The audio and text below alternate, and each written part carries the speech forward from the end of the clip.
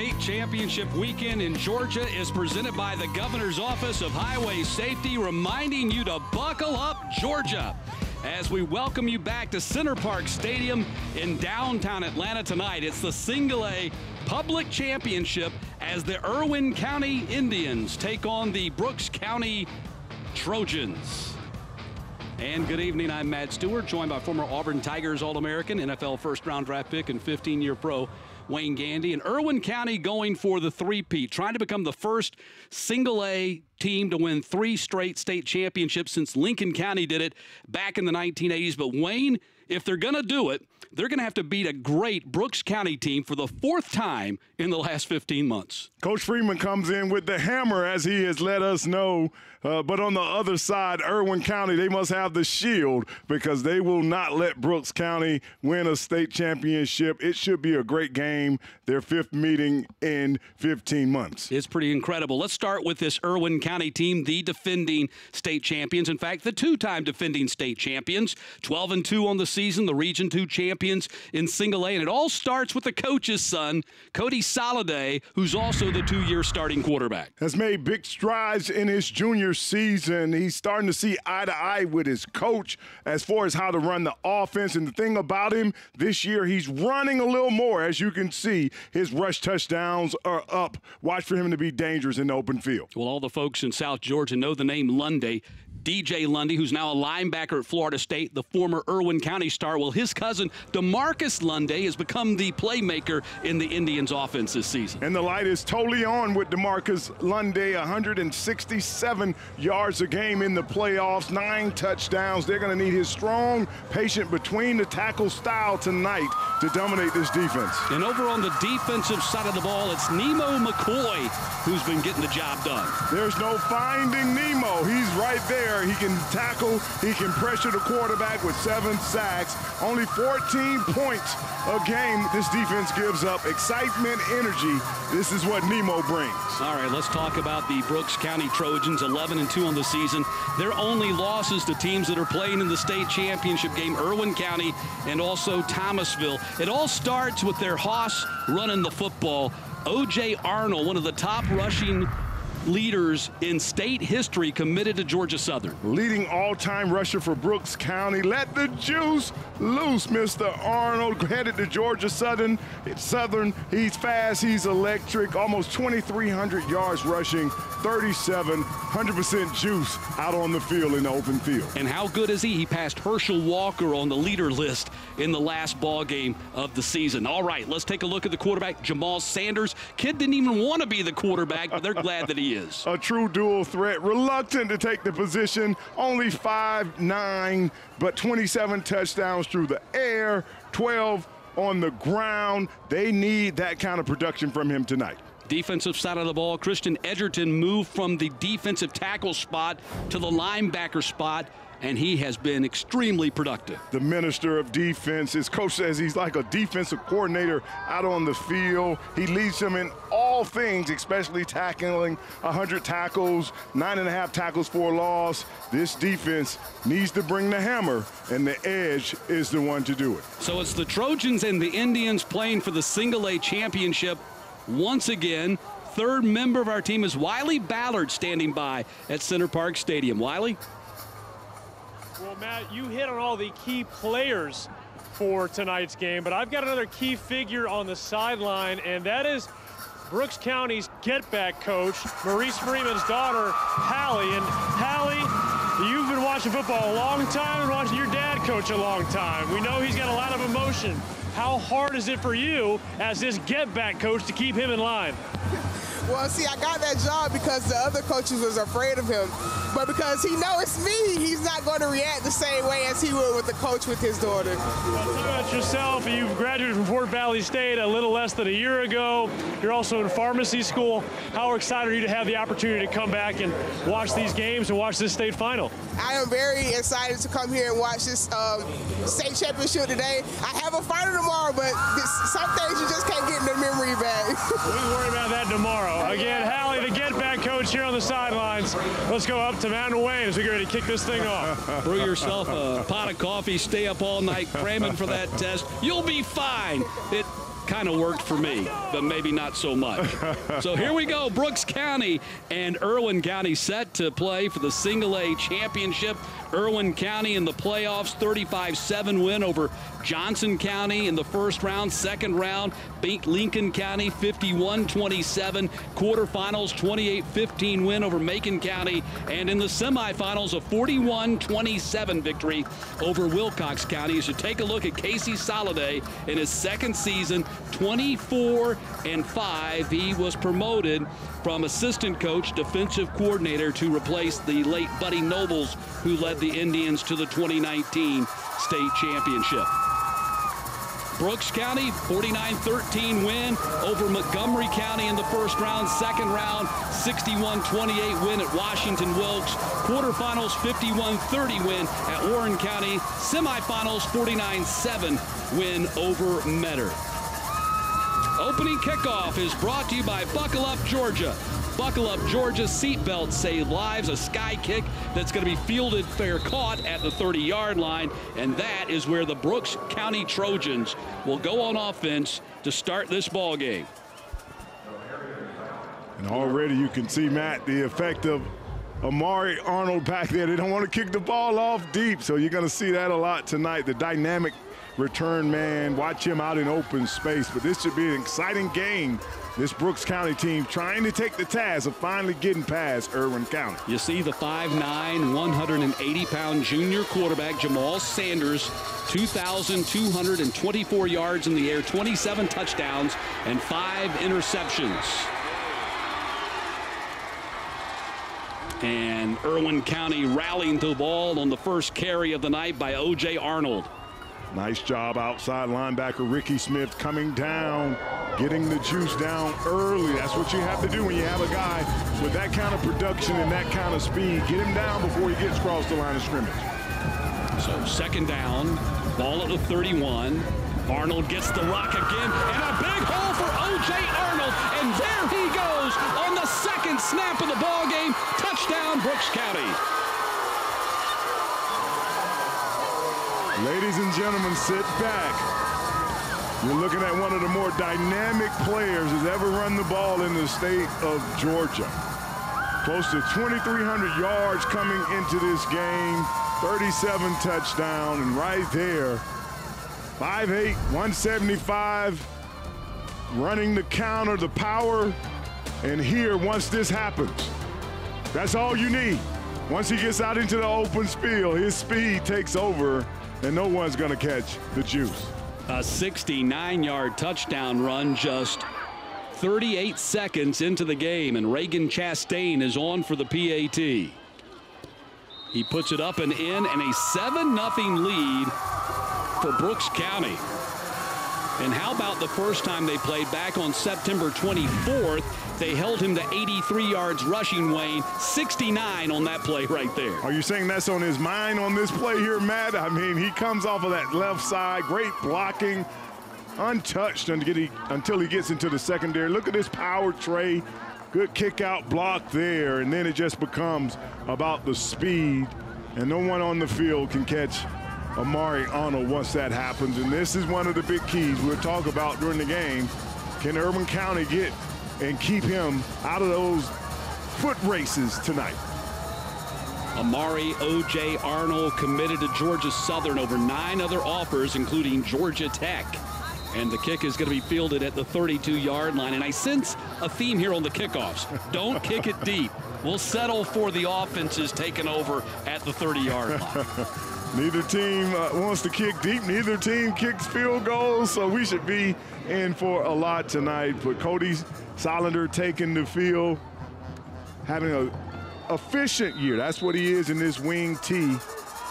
It's all about game management and him making great decisions. And his dad, Casey, said he had to learn, you know, last year he had the Vineyard brothers and he had Cam Ward. He could just chunk it deep. He's had to learn to take what the defense gives him this year. First carry of the game up to the 37-yard line. That was Marcus Edwards on the carry. 400 yards rushing on the season for the senior two-way starter. 5'9", 172 senior, also a starting outside linebacker for this Irwin County Ball Club. Interesting right off the bat, heading with Marcus Edwards. And as you can see, if you don't watch a lot of Irwin County in this wing T, Irwin County picks up the first down on a second consecutive carry by Marcus Edwards. Here's a look at the Irwin County starting lineup. It's presented by Regions Bank. Get back in the game with Regions Bank. And William Johnson, the right tackle. He's got college football size over there, 6'4", 275, kind of a late bloomer. They're hoping someone will offer that young man. And there's a look at the backs and the receivers. Eli Roberts, the tight end, is receiving interest from Harvard and Yale. So first and 10 for Irwin County from the 43. Pressure showing from that Brooks County defense. That was Shane Marshall, the freshman. So interesting, the first three snaps do not go to Lundy. They go to Edwards and then Marshall, the freshman who's rushed for 700 yards this season and six touchdowns. Irwin County calls those trick plays. You should get ready for DeMarcus Lundy to take over in this game as it goes, but you can see already this Brooks County's defense, linebackers sniffing up, starting to run blitz already in this first drive to stop the run. That's Marshall again as he pushes the pile past the 40-yard line. As we take a look at the starting lineups for Brooks County on defense, Travion Jackson, the defensive end, 21 tackles for loss. Linebacking core, we told you about Edgerton. Blankensee's having a good season as well. And in the second secondary, pardon me, Amar Thomas with 97 tackles on the season. And the D-backs coach for this Brooks County team is none other than Malcolm Parrish, the four-star who was a quarterback for Brooks County and went to Georgia as a cornerback. So far, so good for Irwin County. They want to continue to make this a physical downhill game. Right there, finally, DeMarcus Lundy right up the middle. This is the mentality they came in this game with. They want to run a bunch of plays early, extend the drive, and try to run down Brooks County. Right here, a lot of trapping in the middle, falling forward by the backs, and this is the kind of game they are trying to set up. Just one cut downhill, physical, four, five, six yards a game. Yeah, Irwin County does not have the big play power that they had a year ago, but their offense has actually been 800 yards better than it was a year ago, taking it four and five yards at a time. Showing run blitz again, Brooks County linebackers tight to the line, sniffing up into the gaps. And there's the penetration by the linebacker coming up with the big time stop right there. That was Lawrence Holsendorf, the inside linebacker, a junior, who came sniffing up on the play and got what he was looking for. Creeping and knocked this ball out right there. You can see the ball out on that run blitz coming and cutting before the line could get to him right there is 15. And you're going to see more and more as we talked about these two teams being familiar with each other. Looks like Antawi Deans, the left guard, is down on the field right now. He's able to hop up, but they'll be making a change at left guard right here, at least on this one play, as Deans has to go to the sideline. How about Dean, only 190 pounds playing offensive guard? I that's kind of unheard of at this time, especially as productive as this team is running the ball. They're they're two guards, but they are fighters and they are tough. And in this system, it's all about quick traps and sticking on blocks, and they're very efficient at doing that. You like guys that can pull and get around the edge and take out the corner. So Hudson Royal is the man who's listed next up on the depth chart. Third down and seven, big play right here. And a first down run by Marshall, the freshman, really running with a lot of confidence that was an issue early on in the season, Wayne, when he was fumbling the ball because he was getting hit hard at the varsity level. He was not accustomed to it. He had to work on that, but he's got his confidence now. Nice job of the right guard, Kellen Wynn, pulling around, following uh, him right there. Shane Marshall, what a bright future he is showing. And you would expect that when you step up to that first freshman year early on uh, the hits are a little different. Guys are a little more aggressive trying to pull the ball out. He's made those adjustments and now becoming a, a top-notch back. Soliday being chased, throwing across his body and incomplete, looking for Roberts downfield. Cody Soliday not asked to throw the ball a lot, but very efficient as we talked about when you can go an entire season regardless of what kind of system you were running and only throw two interceptions, trying to get it to his big senior tight end down the field, 6'4", 190, Eli Roberts. And he is a two-way starter as well. He'll also go at defensive end as Soliday comes in from the sideline with the play call, and it's second down and 10. Second year starter Led this team to a state championship a year ago as a sophomore. Right up the middle, Brooks County defense was not fooled on the play. And that's Lundy with a very short gain, if a gain at all, and it's going to be third down and long. And we saw the last third and seven, Shane Marshall rushing the ball. So if you're Brooks County in these downs, you're going to have to continue to stop the run and Coach Soliday in, in this offense, very explosive, especially once they start getting down into the red zone. Don't expect a lot of field goal tries. There's not going to so be many. They're both in four down territory. Well, Brooks County has not attempted a field goal in two years. Yanzatich, the kicker for Irwin County, has attempted three field goals this year, and that's Marshall on the run. It's going to bring up fourth down in about two and a half or three. Nice job there by Brooks County rallying to the ball. That's something they're going to have to consistently do when you have these types of backs. It's going to take two or three bodies, especially because of the size that you put on defense. Not a big defense. It's all about getting off blocks. So fourth down and three right here. Our first chance to see these teams go for it on fourth down. Marshall has been the lead back so far in this game for Irwin. Five carries and 25 yards. Keep your eye on the quarterback. Soliday here pulling this ball. Hasn't done it so far. Marshall going to be met right there in the hole. Will not get it. Big stop on fourth down by the Brooks County defense, and that was the safety, Amar Thomas, who came up from the back line, a two-year starter, and he's just a sophomore. Amar Thomas reads this play well and stones Irwin County on fourth down.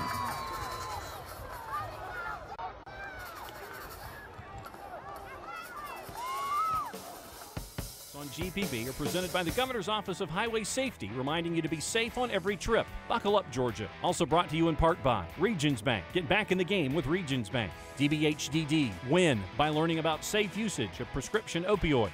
Georgia's EMC's official energy provider of the GHSA. Cigna, together all the way. DBHDD, stay in the game and live drug free. And this supporter of the GHSA, the Georgia Farm Bureau, always the home team, and viewers like you. Cigna is a proud partner of Georgia Public Broadcasting and Football Fridays. Cigna's mission is to improve the health, well-being, and peace of mind of those we serve. Learn more at cigna.com slash take control to learn how you can help support your physical and emotional well-being. DBHDD's Red Ribbon campaign is about all Georgians standing together for substance abuse prevention. Stay in the game and live drug free. Learn more about healthy alternatives and living a drug free lifestyle at garedribbon.org. Halfway through the first quarter, and Brooks County leading this single A public state championship game 7 0 on Irwin County. Respect, it's more than a word in the U.S. Army. Respect is earned every day. Now, in addition to earning respect, you may qualify for more. Information at goarmy.com slash bonus or 800 U.S. Army, paid for by the U.S. Army. So Wayne, the Brooks County offense goes back out there. Scored on two plays the first time they touched the ball. 69-yard touchdown run by Omari Arnold. They're going to take a shot downfield, far sideline. It is caught at the 48-yard line. Jamari, Jamarian Fountain, with just his ninth catch of the season, came back for the ball. Top speed, Sell sees the ball. Nice job. This is what you call ball skills. Not really playing for the back throw, shoulder, shoulder throw, but you can see the receiver making the adjustment, Fountain finding the ball. The cornerback never got his head around to see. That was a 28-yard catch for Fountain, who's had a big season, eight catches for 211 and three touchdowns. Timeout. Irwin County. That is their first charge timeout of the first half. So Irwin County burns timeout here. Not a bad timeout to take. They've been gashed for two big plays on Brooks County's first three snaps of the ball. And you can see an energy about this Brooks County team coming in this game. They're tired of hearing they can't beat Irwin County going out on the field, and you can see a different energy in Maurice Freeman and his team in this first offensive and defensive.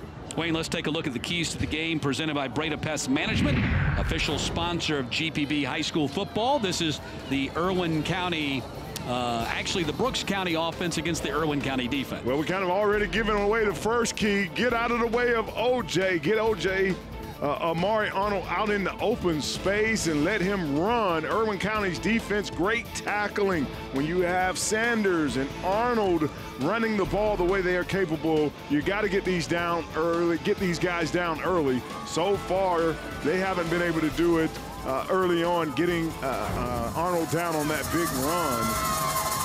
But you can just see and sense the energy watching this game. Guys coming off the ball, Play calling being aggressive right there on that last play, the fountain. Keeper this time by Sanders. Chance for him to show off his speed. He's across the 30 and down to the 25-yard line.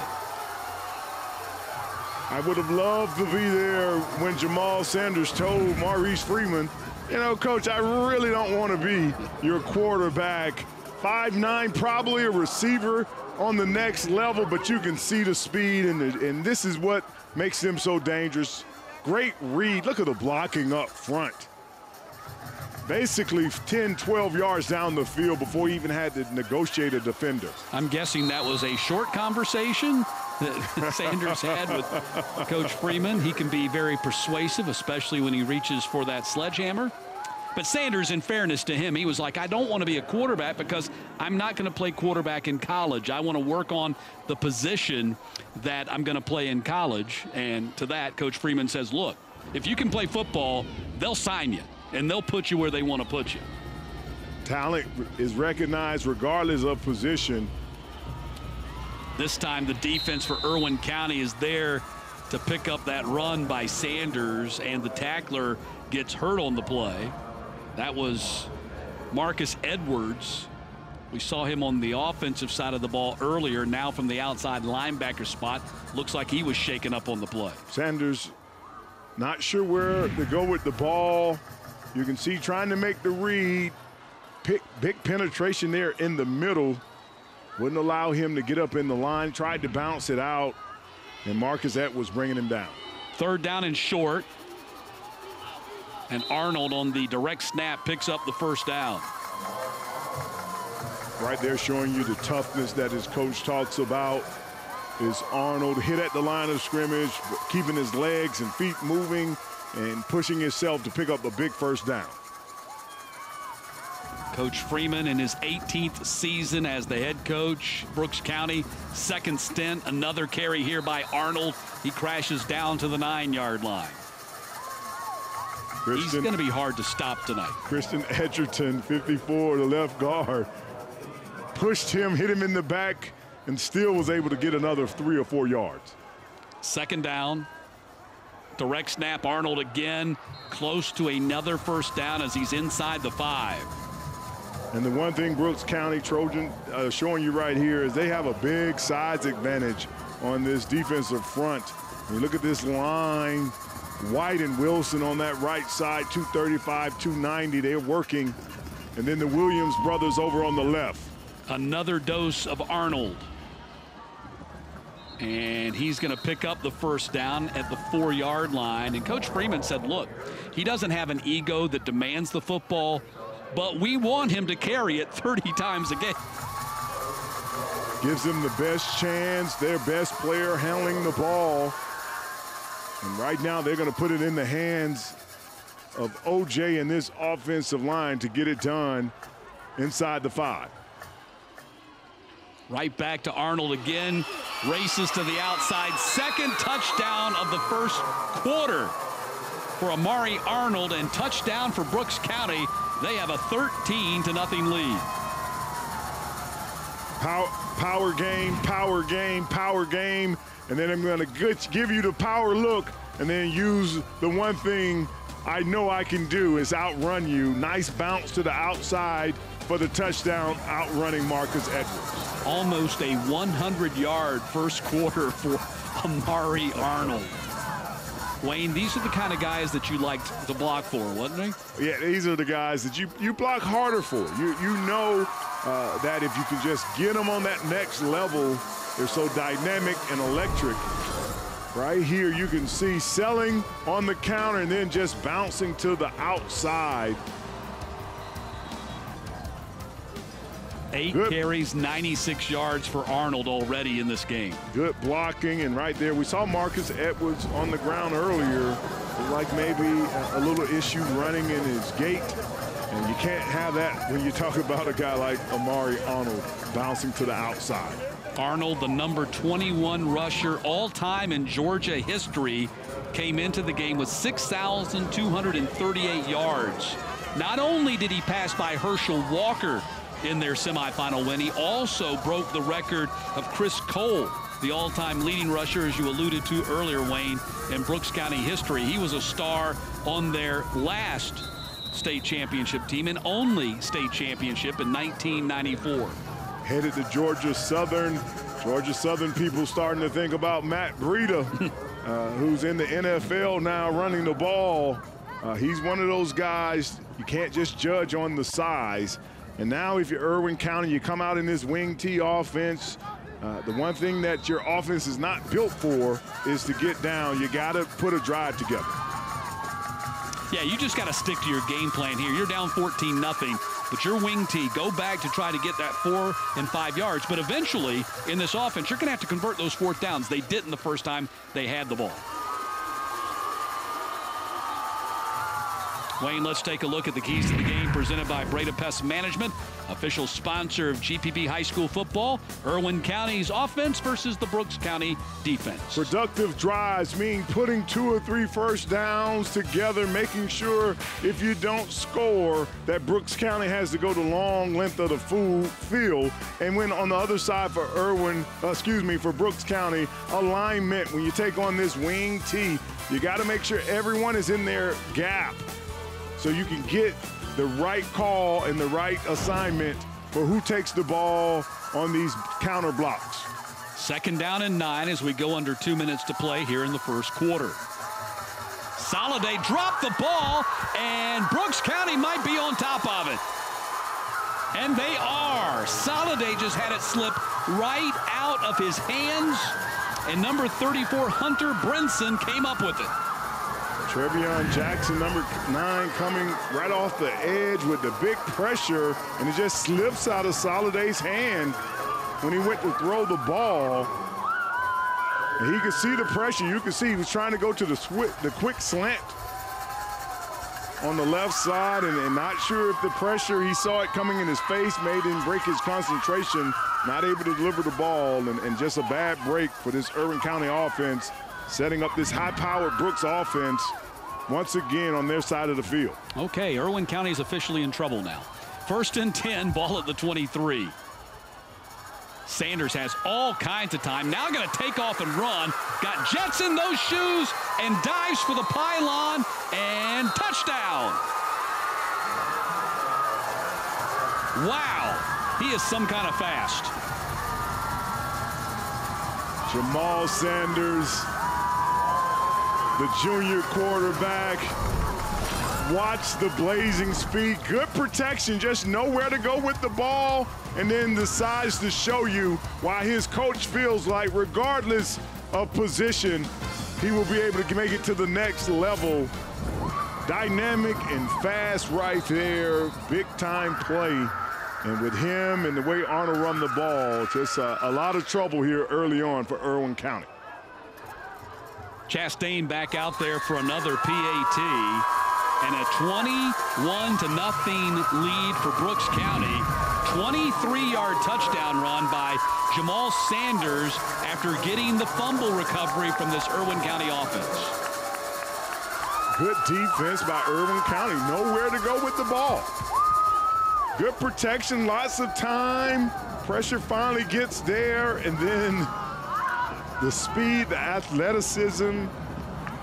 And how about the dive for the pylon? He was getting ready to step out of bounds and just launches off that turf and dives for the pylon and gets the ball across the plane. You and I talking about this game before the game, we kind of sensed, and I'm not saying the game's over by any means, but we sensed that anytime you beat a team three times in a row, that fourth time, there's so much emotional built up inside of the team that's been beaten three times in a row. Yeah, the coach comes in, he, he's sipping on some Gatorade, and he gives you that enough is enough speech uh, at this time, and, and you can just sense from the first play until now that Brooks County, they came in understanding that if they were going to beat Irwin County, they were going to have to lift to another level, and right now they're playing there and Irwin County, as we talked about, not the big play stars offensively, uh, they're going to have to start making some plays now. Handoff goes to Marshall. He slipped trying to make the cutback and dives forward and gets back to the line of scrimmage. Good pressure there by Blankensee, number 20, Cam, coming up the field, making Marshall have to cut this ball back inside and slipping on the ground. When he did so, what a fire plug he has been for this defense. 73 tackles, 14 tackles for loss. Exceptional athlete. He's had a great year, a junior. He'll be back next year. He's been in that weight room, too. Second down and 10. Lundy just a couple of yards on the play that time. Thomas coming up from that safety spot to help out on the tackle. A lot of red jersey around the ball carrier. Guys hustling. They understand the kind of backs they're facing, and they're playing with that energy level. Rally to the ball is their call on defense. Third down and seven. This Trojans defense gave up 18 points per game this season. But they have looked really good here in the first quarter. Could be the final play of the first quarter. Soliday throwing that screen to Snyder. Not going to pick up the first down. And Irwin County is going to have to punt as the clock hits zero here at the end of the first quarter. Wow, what a quarter for Brooks County. Trying to win their first state championship since 1994, and they are off to a great start in downtown Atlanta.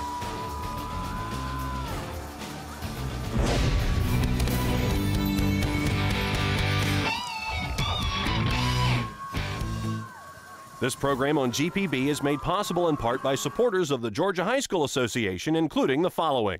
Our mission has always been to support Georgia farmers. That's why we created Georgia Farm Bureau Mutual Insurance Company, providing financial protection that farmers needed. While this remains the same today, we've grown to protect all Georgians through home, auto, and life insurance. From the very beginning and into the future, we stand for every Georgia community. We are a Farm Bureau.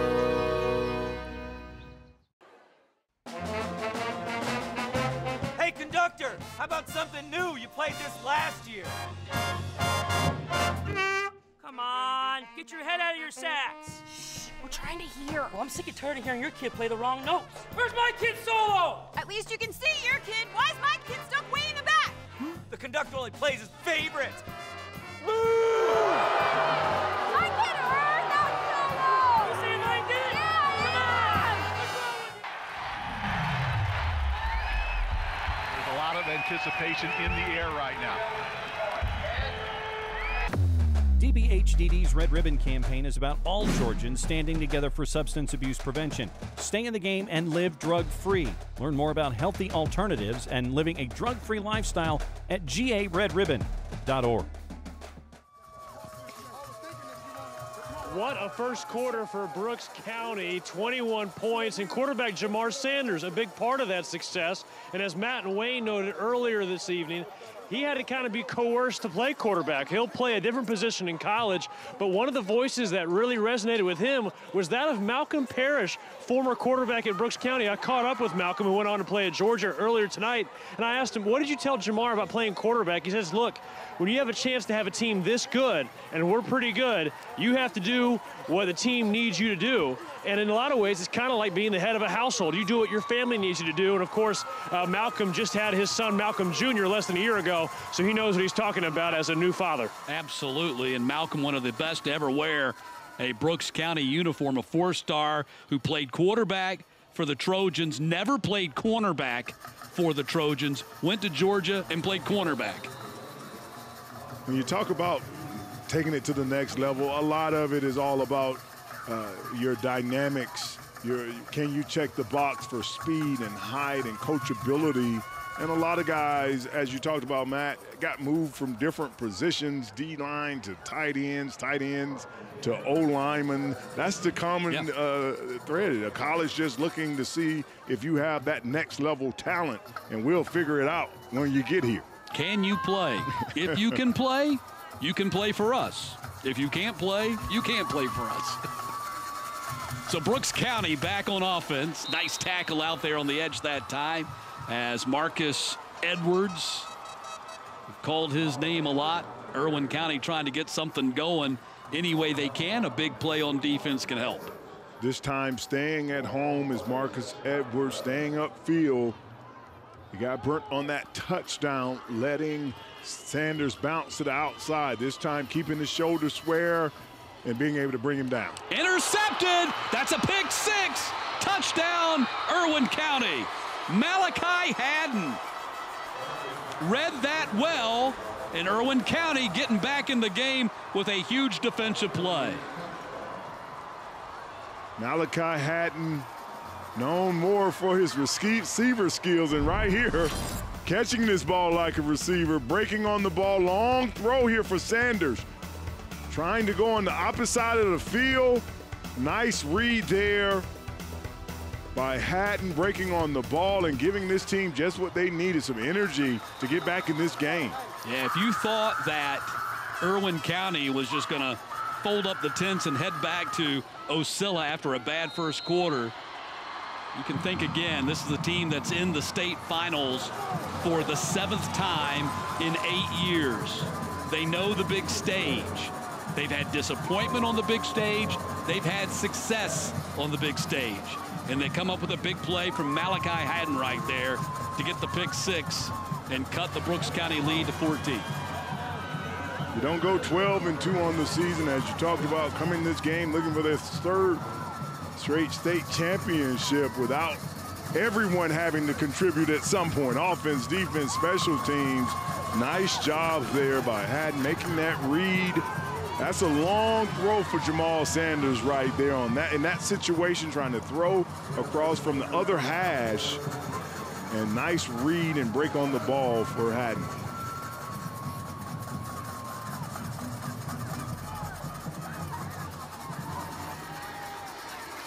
So now let's see who will take the kickoff. They have two kickoff men, so Yanzatich is going to be the one who takes this kickoff. He's more of the angle kicker and they hit the sky ball. It's going to go out of bounds. And we'll see what Irwin County elects to do right here. Or, pardon me, what Brooks County elects to do. It'll be their decision. Gifting a lot of yards, as we talked about, pooch kicking, angle kicking. These offenses are starting in great field position once again with the penalty free kick infraction on the kicking team. Five yard penalty from the end of the kick. It'll be first down. So they're going to get the ball around the 40 yard line. Here's another look at that pick six by Haddon. Jamal sent long, looking down the receiver right there, the whole way looking down Fountain from the other half. You just can't. It's all about timing. Trying to look off the safety. That time couldn't look, look off Malachi Haddon. So Brooks County back on offense from the 40-yard line. And look at Arnold bull his way for nine and a half. Coach Freeman, I guess he ripped up that passing game mindset, decided, you know what, let's go back to the juice. Nice job pulling around Jaden Williams, and right here, this is what we're talking about. This is how you get close to 2,300 yards on the season, fighting for each and every one. And isn't it so refreshing to say that? 2,000 yard rusher. It's such an anomaly. And of course, in the NFL, they don't even get anywhere close to that anymore because the game has changed. But here in high school football, you still have that. It's a big accomplishment. 11 career 100 yard rushing games. And this is his 11th right here. He's at 107 already in this game. Sanders man, he is electric when you get out in the open field. And that's one of the things that Coach Soliday told us, that we cannot allow Arnold and Sanders to get in the open field. Locked in the phone booth right there in the pocket, nowhere to go with the ball, and then just the athleticism takes over as we talked about, 5'9", 180, but you can see the quicks, you can see the vision and the, the running skill. Sanders coming to the near side. This time he's going to get dragged down from behind. That was Marcus Edwards again. He's been busy at that outside linebacker spot already tonight. Jamal Sanders, the second time in this game, he's already ran out of his shoe. I want to go there and put a little tape on it because the way that he runs the ball, you expect it's going to come off. That time, Edwards once again staying home, forcing Sanders to the inside and making the tackle. Third down and five. The line to gain is the 39.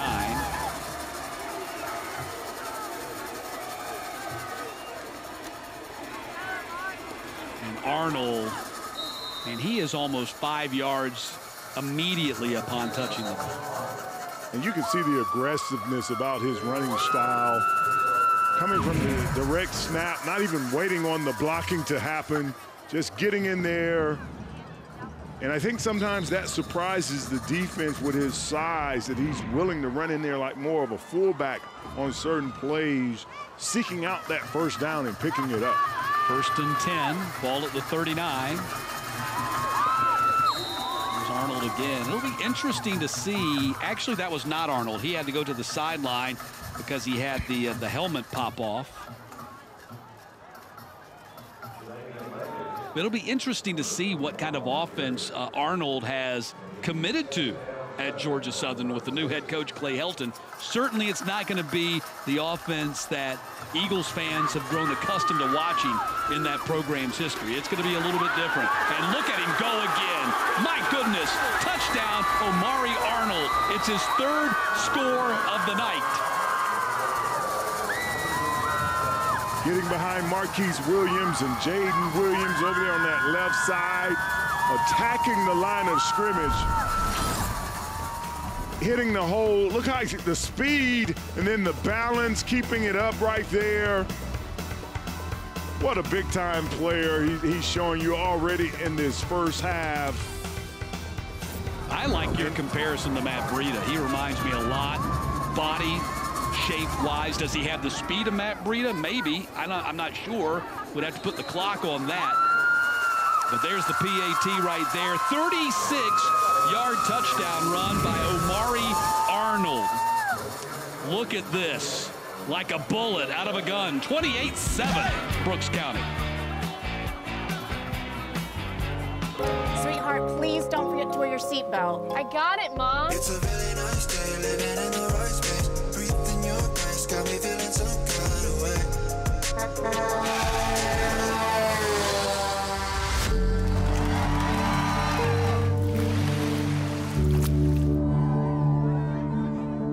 In the blink of an eye, so many tomorrows can disappear. Buckle up for your future, every trip, every time. A message from the Governor's Office of Highway Safety. At Regions Bank, we're here to listen to your needs and we'll customize a plan to help you reach your financial goals. Our service to Georgia goes beyond banking to creating more inclusive prosperity in our communities. From education to financial wellness to economic development, we're working to level the playing field so more people can succeed and our communities can thrive. Every game day celebration, every championship title begins here with hours of unseen work. As part of our commitment to education, Georgia's EMCs support the young athletes who play high school sports in the communities we serve, empowering talent with scholarships, honoring sportsmanship, saluting the game changers. When we champion the energy behind the scenes, they can step into their future and shine. Georgia's EMCs, official energy provider of the GHSA. 28 7 Brooks County leading Irwin County. Still not halfway through the second quarter.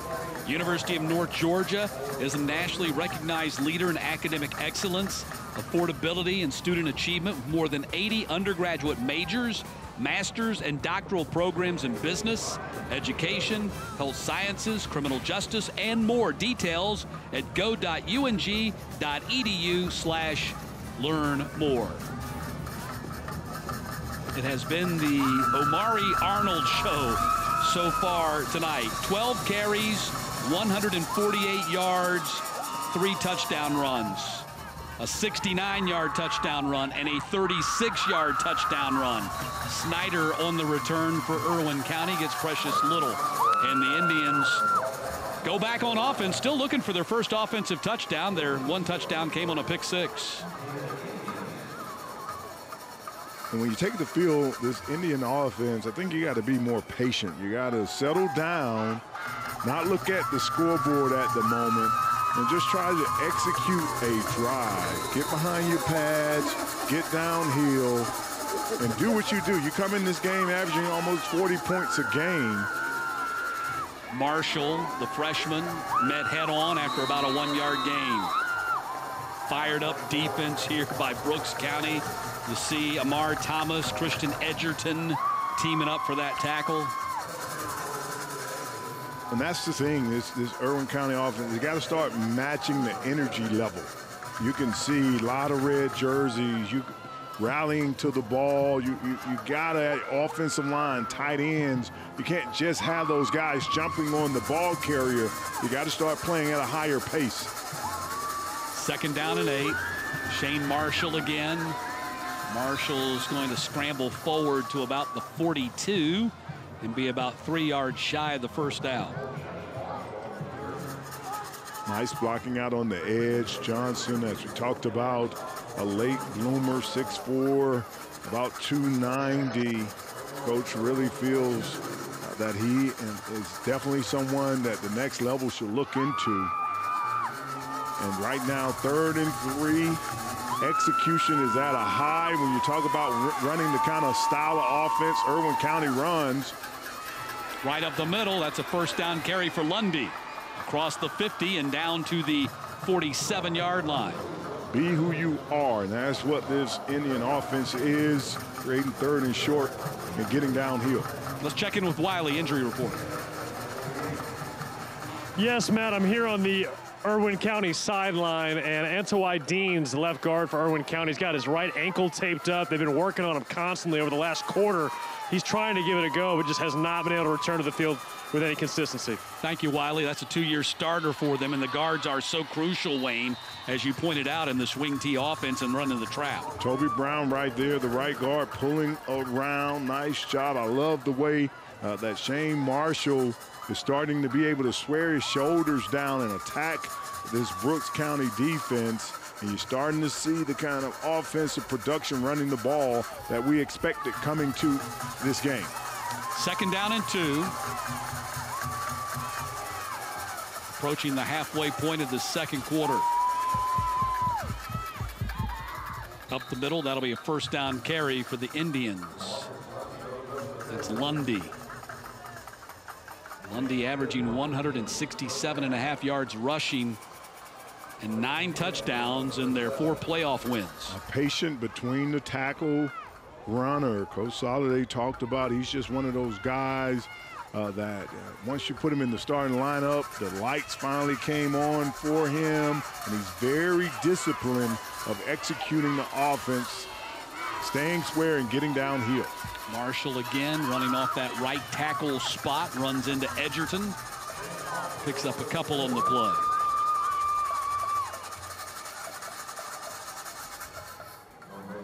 Shane Marshall has been impressive so far for Irwin County tonight. Team leading 11 carries for 46 yards. You see his numbers on the season 705 yards on the ground. And he's a cousin of DJ Lundy, too. That Lundy family's been quite prolific when it comes to football. Pop pass right there to Roberts, the tight end, inside the 10 and down to the 4. Beautiful play action fake here. As we've seen in this drive, being able to establish the run. Nice fake, nice pickup by the backs. And a nice touch on the ball there by Cody Soliday. Right there, you got to be careful if you Eli Roberts, like a little taunting. He, he, did drop the ball into the Brooks County defender's lap at first, the end. First and goal to go. Marshall gets it, and he's going to get caught behind the line of scrimmage.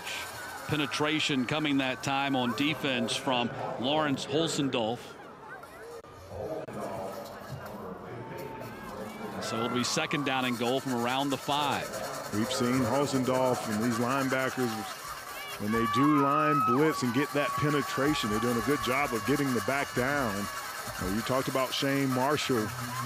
Not sure where uh, the freshman part of all this looks like. He doesn't look like a freshman when you look at him out on the field. No, he's running the ball very well tonight. Soliday turns and looks to the sideline. The offensive coordinator, Kyle Wilson, calling the plays. Right up the middle. Touchdown, Irwin County. Successful running that trap, and it's Lundy right up the middle. Makes it 28-13. Not sure if Cody Soliday was doing a little possum where he just kind of made the defense relax by acting like he was confused with the play. But great blocking on that right side. Nice trap there by Toby Brown with the kick out, the right guard.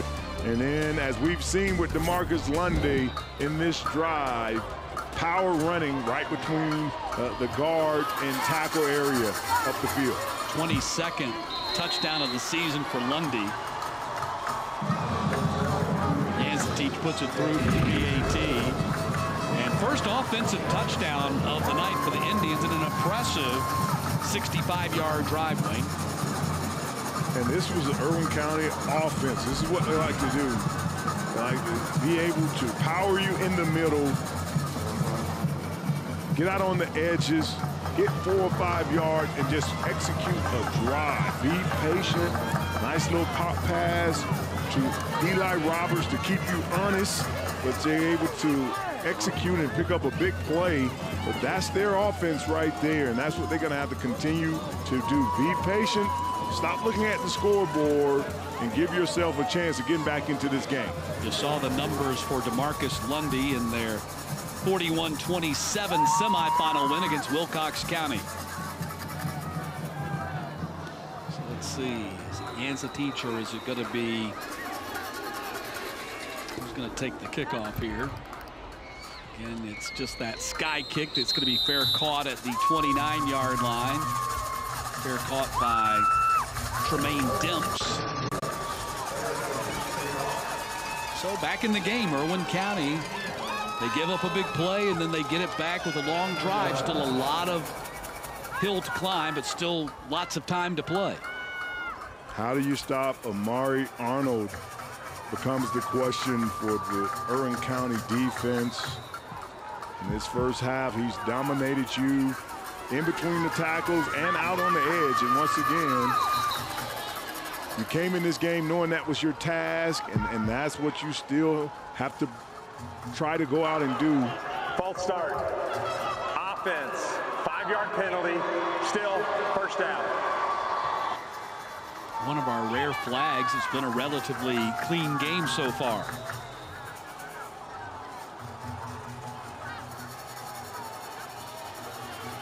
That man right there, number 10, has been the star of the night, no doubt about it. Sanders tries to come to the near side. There's Marcus Edwards again. He's had himself a big first half defensively. Fool me once, it's my fault. Marcus Edwards got food on that touchdown, and since then, he has a, a good eye on Jamal Sanders wanting to bounce this to the outside. Look how he sheds the block of the tight end, Jaden Correa, and then makes the play on the outside. Nice job of staying home. Five tackles for Edwards already in this game, and four of them have been tackles for loss.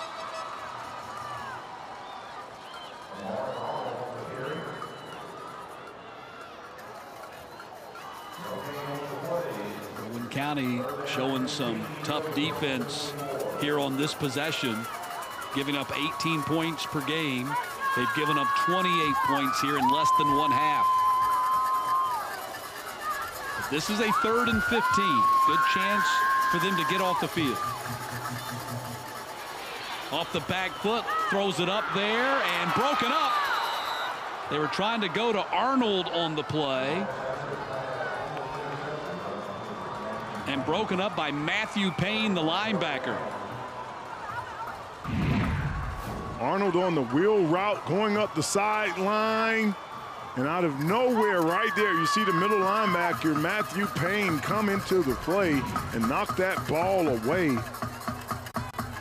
You talked about what will Jamal Sanders be able to do down at Georgia Southern. The one thing that we might have to remember now, everybody's looking for that Tyreek Hill guy that you can kind of get out in space.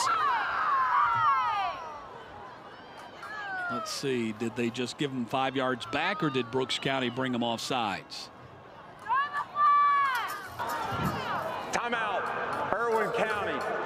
That is their second charged timeout of the first half. So Irwin County takes the timeout. That's not a bad timeout either because you you keep them from running the clock all the way down on this punt. Gives you some time to maybe have some time on the clock to work with offensively and maybe try to get some more points on the board before halftime. Don't try to explain that to Casey Soliday. The look on his face, he is upset that they have to call that timeout, and that's just about groupings. You work all week long on different grouping, punt, punt return, those groups, and to have to call a timeout because not having the proper people out there just drive coaches nuts. But one timeout, you're to get this ball back in great position to still be able to execute what you you still have enough time to go out and still be able to run the ball. Sanders is the punter. Caught at the 42 and down immediately.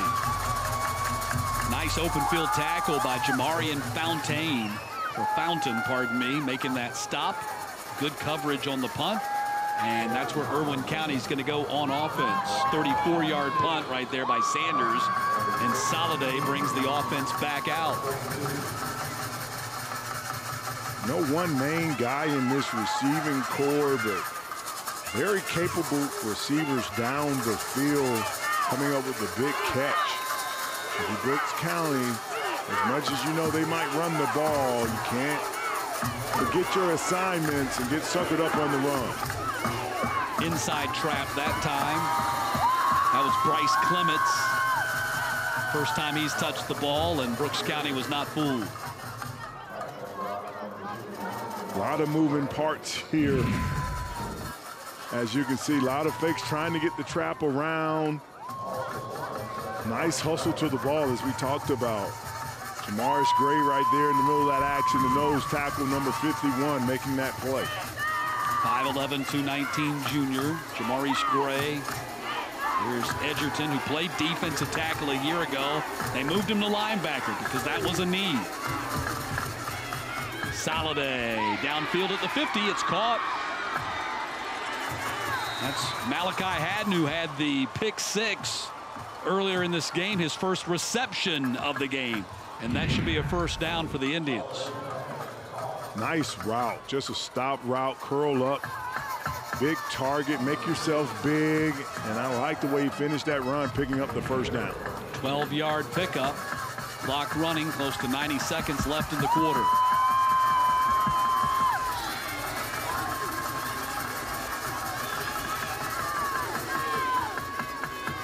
off. Lundy, big run. Inside the 30, finally hauled down from behind at the 25-yard line. Demarcus Lundy getting loose. Cody Soliday couldn't get the ball to him fast enough on this handoff.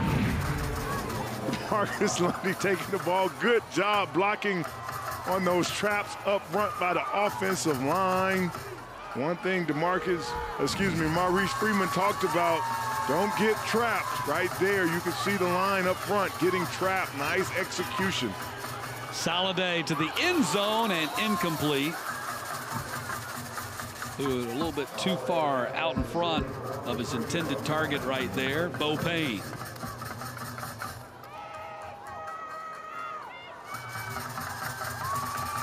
Soliday showing nice touch on the ball, nice arm.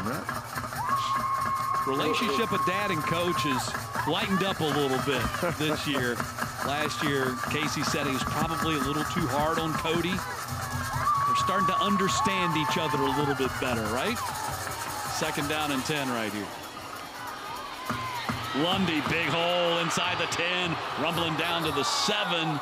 DeMarcus Lundy Beautiful execution up in the middle. Lundy, as we've seen between the two guards and, and the center.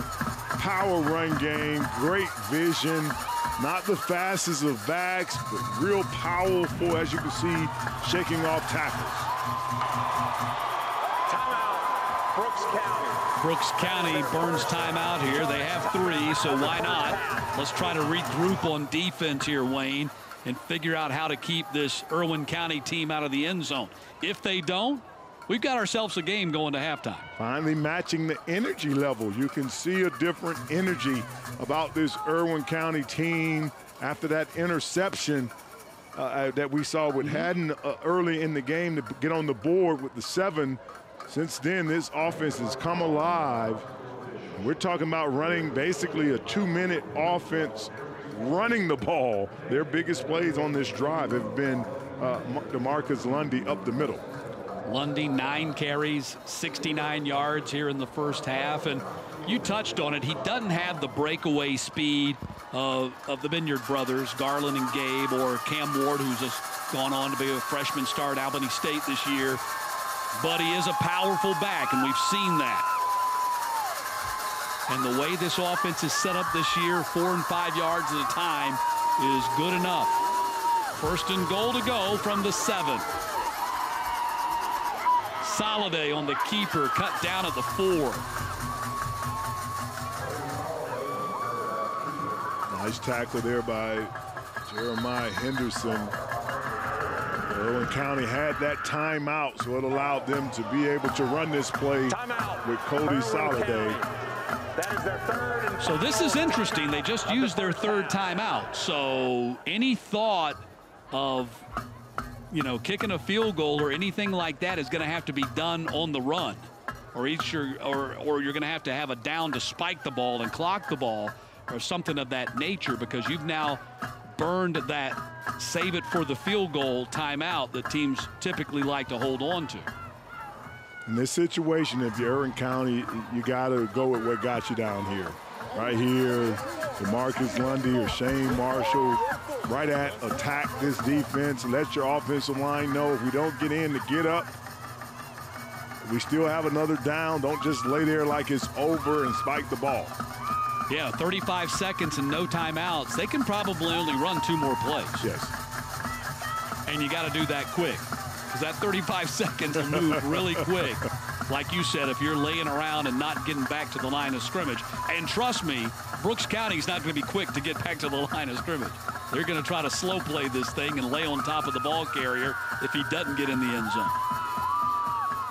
Soliday running to the edge, and he's not going to get there.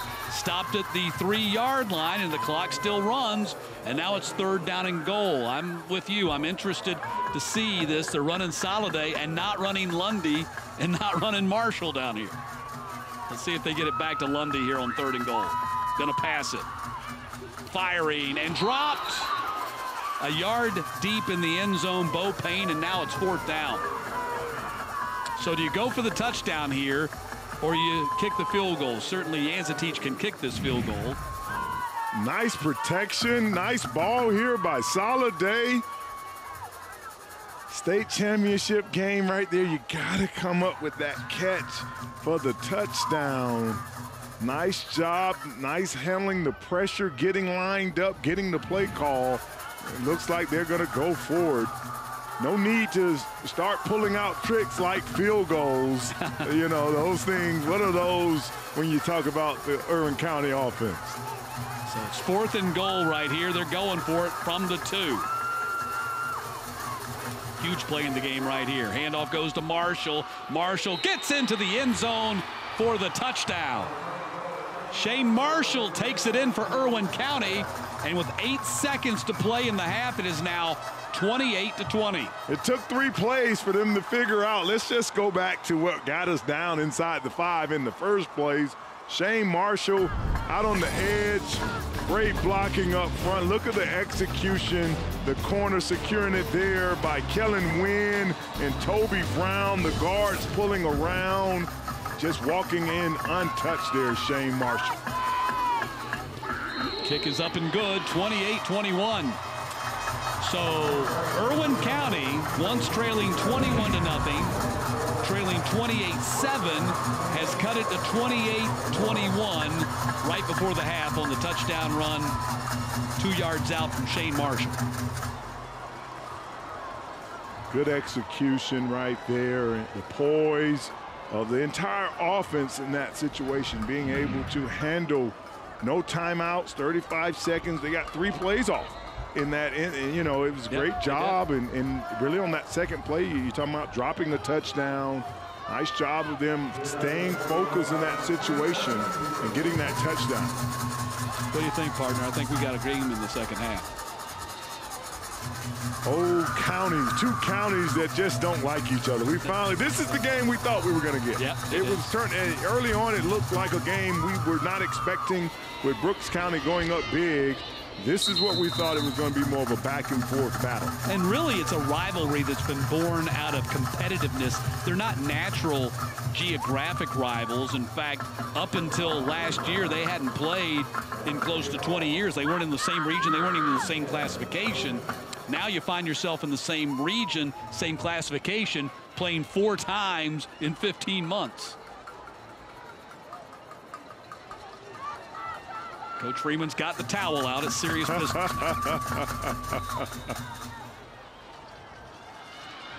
so he's going to take a knee and get to the locker room. So 28 21 our score. Brooks County on top, seeking their first state championship since 1994. Irwin County going for three in a row. And that first half turned out to be really fun. Brooks County coming out with the energy you figured they needed to try to win this game and then to see the championship poise of Irwin County there.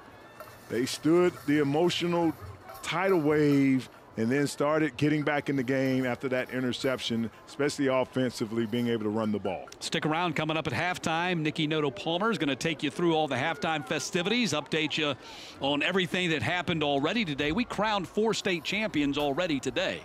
And this is just day one. And we've got two more days to go at Center Parc Stadium. And Nikki is going to navigate you through all of that coming up here at halftime. 28 21, Brooks County on top three touchdown runs by Omari Arnold in this game. 69 and 36 yard touchdown runs for that young man committed to Georgia Southern. 150 yards rushing in the first half. Irwin County started to get their ground game going. Lundy went for 69 yards and Marshall went for 47. Just some good old fashioned smash mouth football. And time now to check in with Wiley Ballard. He's standing by with head coach Maurice Freeman. And the coach's interview is presented by DBHDD. Thanks, Matt. Coach, I know uh, Omari's had some pretty big games in his career, but have you ever seen a half quite like that, over 150 yards and three touchdowns? Yes, he's had a couple of games like that, but we've got to, right now, we've got to play better defense. Tell me about that. DeMarcus Lundy had a pretty good there second quarter, shut him out in the first quarter. How do you guys get back to have that success in the second well, half? I think uh, I think we did some bonehead things there on defense, one paying attention to the unbalancing the trap. So we got to go back to getting our heads and, and continue to play Trojan football. Coach, thanks for your time. Thank you. All right, that's Coach Freeman. We're now we're going to go into our halftime coverage with Nikki Noto. Record, those weren't boneheaded questions. Gotta love Coach Freeman. Welcome into the GPB halftime show presented by Regions. Get back in the game with Regions Bank. I'm Nikki Noto Palmer. We are live from the GPB studios right here in Atlanta. It is officially halftime for the single A public game between Irwin County and Brooks County. One of them will be state champions. Irwin County with a late two-yard score in the half. Shane Marshall took it in with eight seconds left to close the gap within a touchdown. Brooks County is leading 28 to 21 at the half with a lot of football left to play. We'll be right back. Stick with us.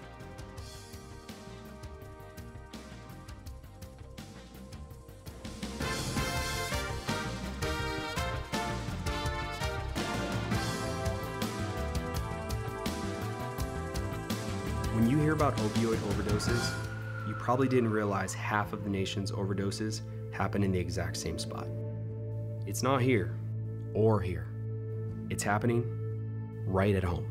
Georgians are accidentally dying in their own homes because people don't understand the dangers of taking an oxy or perk with a glass of alcohol for stress or to sleep.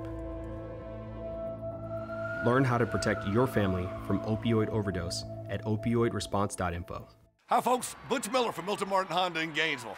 On the sidelines and having a great day. Ladies and gentlemen, if you believe Milton Martin Honda is squarely behind all our students and all their activities, you got that right. Cigna is a proud partner of Georgia Public Broadcasting and Football Fridays. Cigna's mission is to improve the health, well-being, and peace of mind of those we serve. Learn more at Cigna.com slash take control to learn how you can help support your physical and emotional well-being. Sweetheart, please don't forget to wear your seatbelt. I got it, Mom. It's a really nice day, living in the right space. Breathing your grace, got me feeling some kind of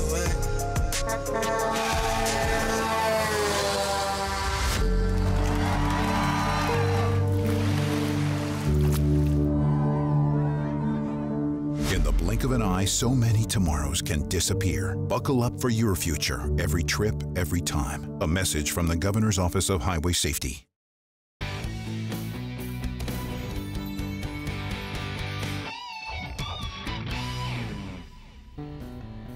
Welcome to our GPB halftime show presented by Regions. Get back in the game with Regions Bank. Now, we are currently at halftime of the single A public matchup between Brooks County, Irwin County. We'll get back to that game in just a minute. But we've already crowned four state champions today. So let's go ahead and see how we got there. Let's take a look at our Georgia's EMC schedule and scoreboard. Georgia's EMC is the official energy provider of the GHSA. Now, we started the day today with three flag football state championships games. First was the Division One winner, Southeast Bulloch. You can see they dominated Portal 20 to nothing. Then we had the Division Two game, which was for the 5A, 6A classification, which went into triple overtime. A fantastic finish for Dodge County. Congrats to them. And then to round out the flag football state championships, we had Division Three, which was for the 7A classifications. It was Hillgrove came victorious over Marietta. They won 20 to 6. And just before the game you're watching right now, we witnessed the single A private A matchup of Trinity and Prince Avenue. Prince Avenue was the defending champ, but Trinity won and extended their season to 14 and 0. They won big 55 to 28. And right now, we are currently at the half of Irwin County and Brooks County, and man, has that been a fun half. Irwin County had a late score with eight seconds left. It was a two-yard score that closed the gap within a touchdown. We've got a lot more football coming up in just a minute. Don't go anywhere. Stick with us.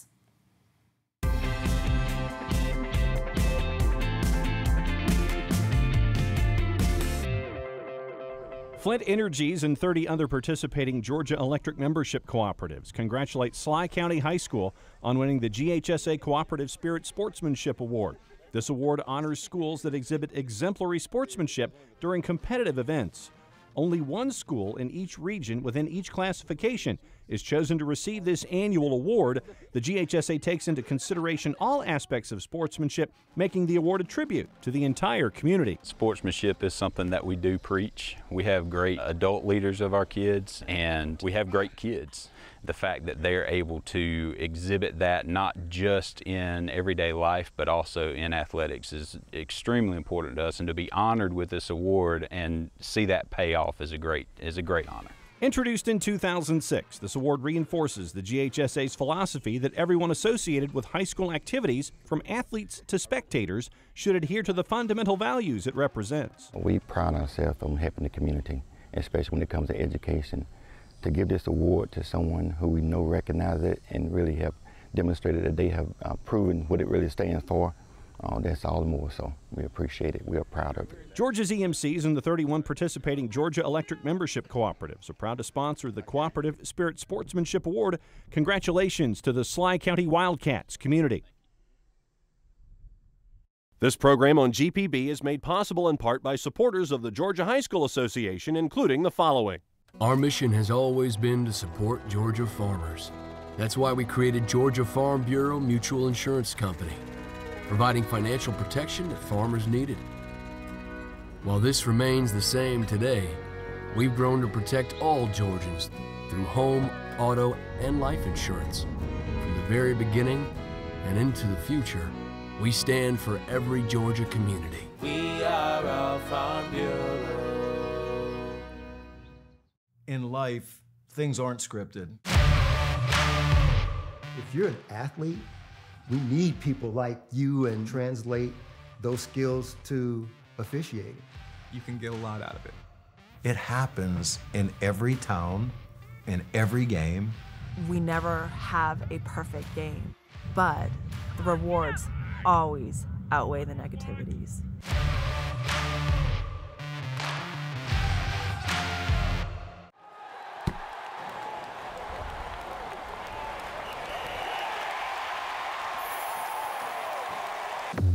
DBHDD's Red Ribbon campaign is about all Georgians standing together for substance abuse prevention. Stay in the game and live drug free.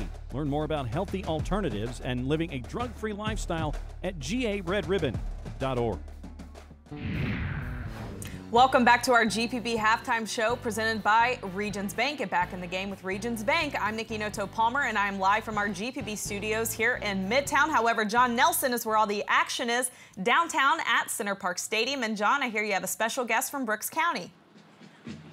That is true. It is time to catch up with the principals and get the academic side and what else is going on. Catching up with Chris Chastain, the principal here at Brooks. Welcome back. Good to see you. What's it been like the last 12 months coming back to the last game of the year? Work. It's been a long journey, and uh, we're glad to be here. So, when it comes to Coach Freeman and his philosophy of bringing the hammer, it's not just something that is now strictly athletic. It has crossed over into the athlete into the academic world, where it has to do with tassels now too. Yes, sir. We uh, our motto every morning is bring that hammer and leave with a tassel, and we encourage our kids not only to bring it on the athletic field, but also bring it in the classroom. And uh, it's paid off. Our graduation rate over the past four years has gone from 69% up to we are almost 98% last year. What's it like to have that kind of an impact coming from one side and having it permeate through all aspects of the community like that? Oh, it's invaluable. Our uh, community buys into it, our students buy into it, and it's just a, uh, it's just an awesome slogan that gets us motivated on and off the field. And a class act in Maurice Freeman. Chris, yes, thanks sir. for hanging out with us for another year here on the field at Center Parc. Good luck in the second half. Thank Scott you. Haskins from Irwin County coming up just around the corner, Nick. Thanks, John. It's all about the hammer, tassel, and maybe a title for Brooks County. And we'll hear from Irwin County when we come back from break. Keep it right here on GPB. DBHDD's Red Ribbon campaign is about all Georgians standing together for substance abuse prevention. Stay in the game and live drug free. Learn more about healthy alternatives and living a drug free lifestyle at garedribbon.org. Cigna is a proud partner of Georgia Public Broadcasting and Football Fridays. Cigna's mission is to improve the health, well-being, and peace of mind of those we serve. Learn more at cigna.com slash take control to learn how you can help support your physical and emotional well-being. The Georgia Student Finance Commission urges high school seniors needing college financial aid to submit their FAFSA. Millions of dollars are left on the table each year because students don't submit their FAFSA form. More at gafutures.org. Sweetheart, please don't forget to wear your seatbelt. I got it, Mom. It's a really nice day living in the right space. Breathing your grace got me feeling some kind of way.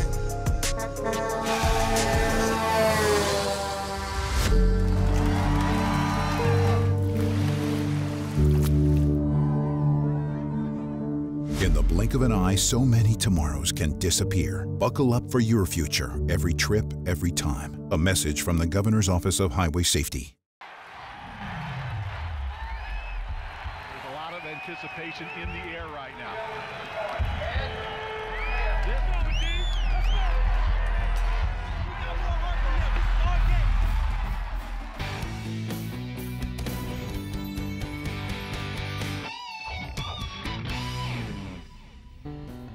And welcome back into our GPB halftime show presented by Regions Bank. Get back in the game with Regions Bank. We've heard from Brooks County principal. Now it's time for Irwin County. John, who do you have? It is time to catch up with Scott Haskins, the principal down in Osceola in uh, Irwin County. First off, welcome back. Thank you. Good to be back. All right, so go ahead and show them. Go ahead and show the hardware right there. This is what happens over the last couple of years. Go ahead, like like right up in here. Right there we here. go. There, see, that's what happens when you win state championships. but it's not just about state championships in football. It's about a lot of other stuff in Osceola. It is. It really is. Our community, our kids, uh, our teachers. You know, uh, it's just it's, it's about the whole culture.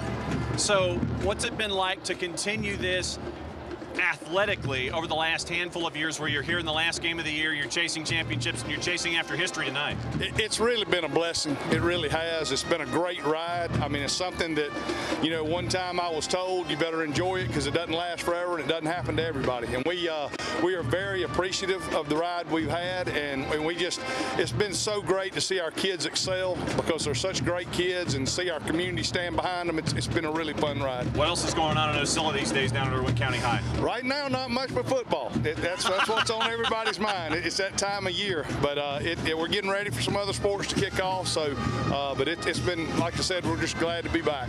Scott, great to see you, my friend. Great to see you. Thanks for hanging out with us here on the field at Center Parc. Two principals down, Nikki. That's the academic side where we get the full picture of what's going on with these two schools. Back to you. Thanks, John. Such a family down there in Osceola. Love to see it. And John, don't go anywhere because we're going to chat right after the break. You guys want to stick with us because- we've got some fun stuff coming up, including our player of the first half. Don't go anywhere.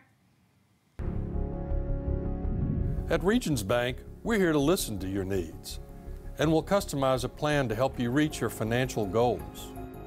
Our service to Georgia goes beyond banking to creating more inclusive prosperity in our communities.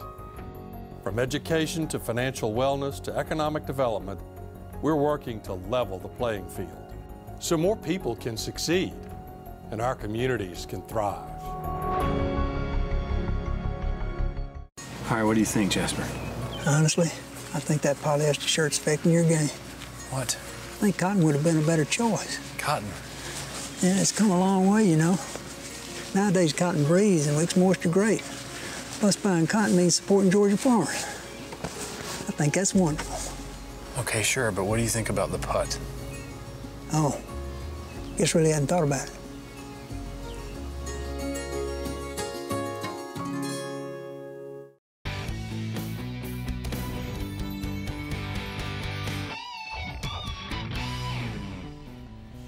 Welcome back to our GPB halftime show presented by Regions. Get back in the game with Regions Bank. It is currently halftime of our single A public championship game of Irwin County and Brooks County. Let's go ahead and bring John Nelson in. John, we've got to talk about the player of the first half, and it's none other than Brooks County's OJ Arnold, three touchdowns on the night, including the second snap of the game 69 yards, 36 yards. He's going to Georgia Southern, and he's got 150 yards rushing in the first half. Yeah, last time I checked, when you look at uh, someone like an O.J. Arnold, he is not slow. And if you didn't know that on a statewide scale, you're learning that tonight. Tremendous talent for Maurice Freeman and Brooks. And when he's in the open field, obviously, hard to catch, and he's showing that again tonight. But once again, to the flip side of things in Irwin County, you know that with these two now region rivals going at it, that just because Irwin are County was down big early didn't mean that it was the, the end of the night. You get the pick six, you get the score at the end of the second quarter. They're back in it. And so this is the game that we had anticipated. We'd anticipated a very close game, somewhat back and forth, although it's been one side and then the other catching back up. So it's been an interesting back and forth, although it's just been one swing, then heading back the other direction here in the first 24 minutes, Nikki. John, what are you expecting in the last 24 minutes? Can you give me anything? More, more of the same. How about that? I mean, fair. When you look at these two, I mean, it is it is a staring contest of the highest order, and you have coaches like Maurice Freeman who won a state championship at Brooks back in 1994, and what it means, what football means, and what everything means across the board at Brooks County High for a team that has gotten close and gotten close and gotten close ever since, but have never gotten over the hump and been winning after the end of 48 minutes. With Irwin County chasing after history and being the, in the same conversation of Lincoln County winning three in a row, if they were to do that tonight and coming from behind the way that they have, how much do they have left in the tank after that first half, having to come all the way back to be down by seven? That to me is going to be interesting. And how do you try to pin down OJ Arnold? I think that's the biggest question uh, as you head into the third and fourth quarter. How do you pin down that star and that player of the first half of ours? I love that. And John, it looks like the elements behind you, weather-wise, is fine. Coach Freeman earlier, he said he was wanting the rain to stop, or he wanted to put a dome over Center Parc Stadium. Yeah, and, and, right now we don't need it. We'll need it tomorrow, so at least the single A folks will have gotten in before all of the alleged monsoon gets here. So you know that, that's that's the way it's looking right now. It is safe at the moment to get this one in. I think it's supposed to start happening around midnight, working its way in in the morning, Nikki. All right. John Nelly, you can do it all, including meteorology. Thanks so much for your time. Don't forget, you can follow us on social media. We would love to say hi and connect with you. You can find us on Twitter, Instagram, Facebook Live. We're actually streaming the game there in addition to YouTube. Always tag GPB Sports. Use the hashtag GPB Sports so we can say hello. Now, if you have friends and family all over the country, send them gpb.org slash sports or tell them to download our GPB Sports app. So there are many ways that you can follow along with us. Don't forget, this is just day one. We've got two more games of championship games coming all right here on GPB. Thanks so much for joining us for our GPB halftime show presented by Regions. Get back in the game with Regions Bank. Have a great call. Matt and Wayne and Wiley, we'll see you in a little bit. Sweetheart, please don't forget to wear your seatbelt. I got it, Mom.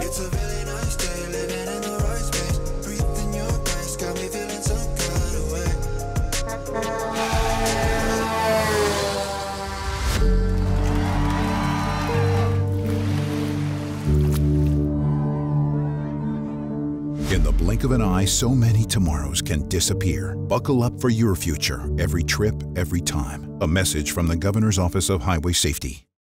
Cigna is a proud partner of Georgia Public Broadcasting and Football Fridays. Cigna's mission is to improve the health, well-being, and peace of mind of those we serve. Learn more at cigna.com slash take control to learn how you can help support your physical and emotional well-being. DBHDD's Red Ribbon campaign is about all Georgians standing together for substance abuse prevention. Stay in the game and live drug free. Learn more about healthy alternatives and living a drug free lifestyle at garedribbon.org.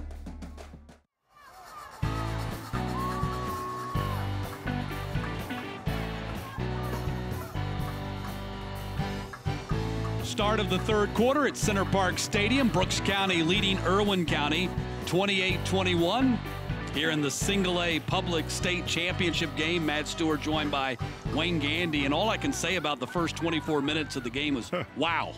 Yeah, when you look at this game, it's the tale of two quarters. One team dominating the ball, running it in the first quarter is Brooks County, and then on the second county, in the, not, not the second county, in the second quarter, Irwin County decided to break out their run game and started to dominate. Battle of two counties. I got you right. All right, let's take a look at the highlights. Second snap of the game, OJ Arnold goes 69 yards like a bolt of lightning started to become a theme in this first half. OJ out in the open field once again, showing you the brilliant speed that he has. It was 14 nothing, and Jamal Sanders showed his stuff after o- Omari Arnold took it in right there, and that made it 14 nothing. And then you had Jamal Sanders. Jamal Sanders, pocket breaking down, showing you the explosive speed that he has, diving to get into the end zone.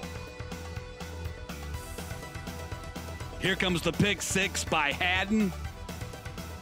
Malachi Haddon finally getting some energy for Irwin County to get them back in the game. And then once again, Omari Arnold breaking through the line, getting out in the open field for the next touchdown. First offensive touchdown of the night. Actually, that was the second one right there by Marshall, and that made it 28 21 as the teams headed to the locker room. And time now for our coach's interview. Wiley Ballard standing by with Casey Soliday. It's presented by DBHDD. Coach, your team is down 28-7 in the second quarter, put up two scores to close out the half. How was your group able to climb back into this game? We just got to stay physical. We got to make tackles. If, if, Tim gets in the open and we don't tackle him, we can't catch him. And uh, so we're going to have to do that. Our defensive line is going to. They're way bigger than we are up front. So our uh, defensive line has just got to play faster, get to where they're supposed to be, and start slowing something down. Offensively, we just got to keep being able to move the ball and uh, eat time. What did you find with Demarcus Lundy late in the second quarter? He started to have some success. Yeah, it took a little while to find out. They've changed a couple things defensively, and it took us a few uh, few minutes just to figure out where they was going and how we could attack it. Well, Coach, best of luck in the second All right, half. appreciate it. Thank you. All right, that's Coach Casey Soliday with Irwin County. Let's go back to Wayne and Matt for the second half. All right, thank you, Wiley. I thought it was interesting as we take a look at the stats right here. A boatload of yards rushing for both teams. Your thoughts on what you see on that stat page? Well, first, clean game for a state game. Only one penalty in that first half, but both teams breaking out their rush games as we really thought they would. They get in trouble when it's second, third, and long, and they have to pass. And when you look at Irwin County, they're doing with the time of possession what their head coach wanted them to do coming this game. Run a lot of plays and try to run this Brooks County defense down. Now, to what Coach Soliday told Wiley right there, kind of hit on the head of what he talked to us about just a couple of days ago. When you go into a matchup, second matchup of the season, fourth matchup in 15 days, you kind of play, or 15 months, you kind of play a little bit of chess match trying to anticipate how they're going to react to how you were successful before. And I think that's kind of what we saw in the first half when Brooks County had success on defense. They made adjustments to Brooks County starting to run blitz them. You saw them settle down. They started running the trap to get to the outside and then hitting them quick with Demarcus Lundy right up the middle and, and escaping that run blitz of those linebackers. So not only did Irwin County get that touchdown from Shane Marshall with eight seconds to play in the half, making it 28-21, they get the opening kickoff here in the second half. So in fact, they get back-to-back possessions.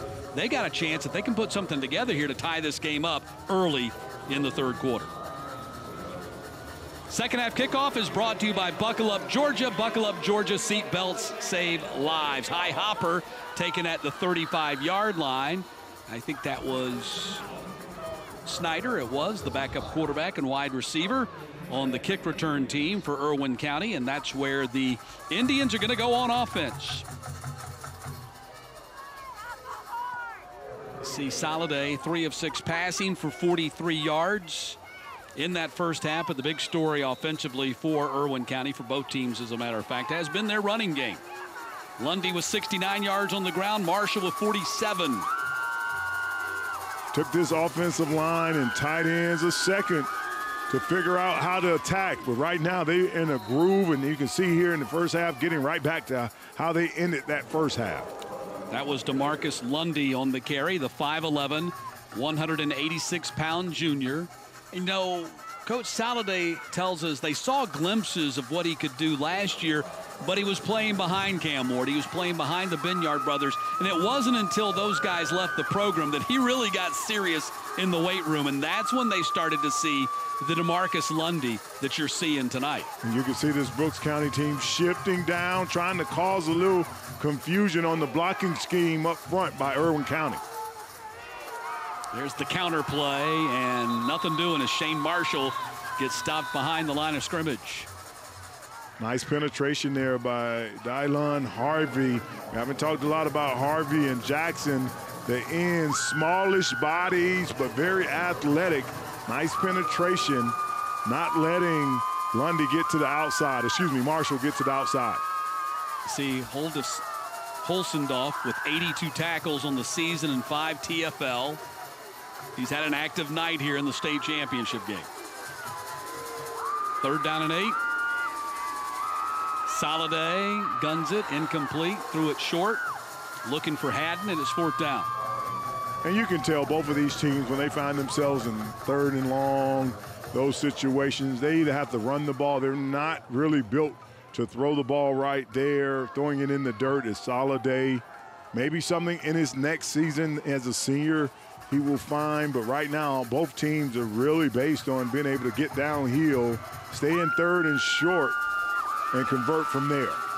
Wayne, when these two teams played on September 24th, they were a combined 8 of 23 passing. That's why they run it so much. Fielded by Arnold at the 33-yard line.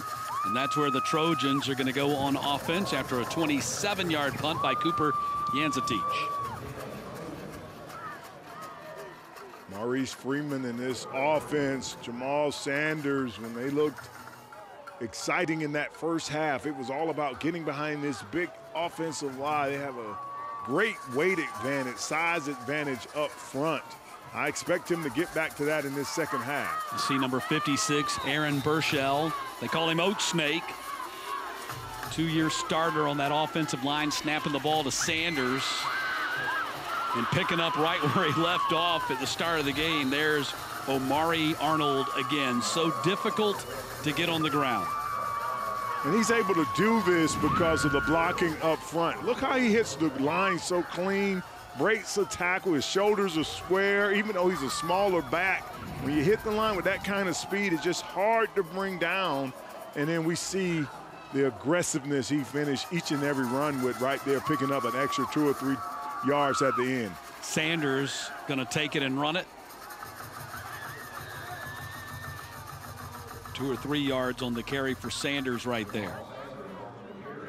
Coach and if your defensive coordinator Ben Simmons for Irwin County, one thing you don't like about your defense so far in the game, you don't see a lot of bodies hustling to the ball. You would imagine with this kind of speed and Sanders and Arnold, you just see white jerseys flying all over the place.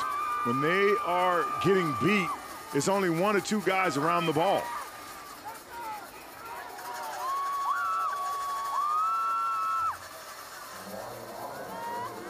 Arnold comes up about a foot short of the first down.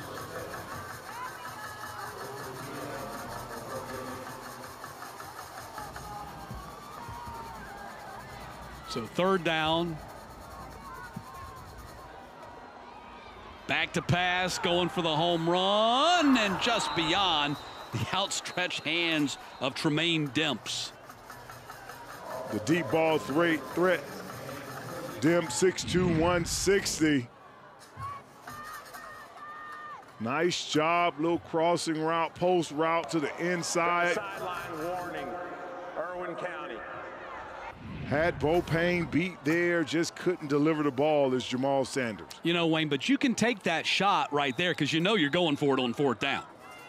It's fourth and one. You know you're going for it. So go ahead and take the shot right there. Well, hold on a sec. Okay. It was supposedly fourth and one. But, okay, the scoreboard, the, the line changed on us right there.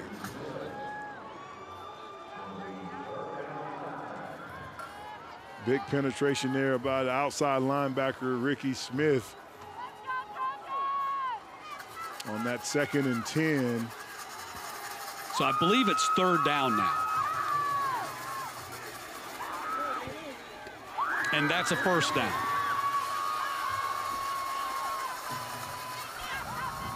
Completion to Willie Brown, their top wide receiver who's committed to Albany State. 48 catches on the year, 12-yard pickup. Good pocket to throw from. Nice route there by Willie Brown. Comes into this game averaging 23 yards a catch. Not a lot of big numbers passing, but they do have big targets down the field in Demps and Brown.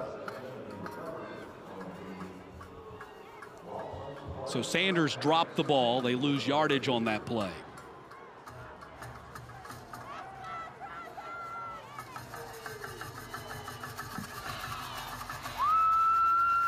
Second down and 16. Line to gain is the 16. Arnold gets tripped up. Nice open field tackle. Just a one yard gain on the play. Nice job out on the edge. Once again, working down the line of scrimmage is Marcus Edwards. Ever since that early play where he got beat to the outside, has done a great job of disengaging and getting the ball carrier down. Third and 15, lobbing it up there to the sideline, and it's caught by Fountain. And Fountain, actually Willie Brown, number five, and he's going to be brought down at the 18, about two yards shy of the first down, 12-yard pickup. And you can see the size advantage between Fountain and Bo Payne out on the edge. Had to wait on the ball, and then right here, just fighting, trying to get the first down.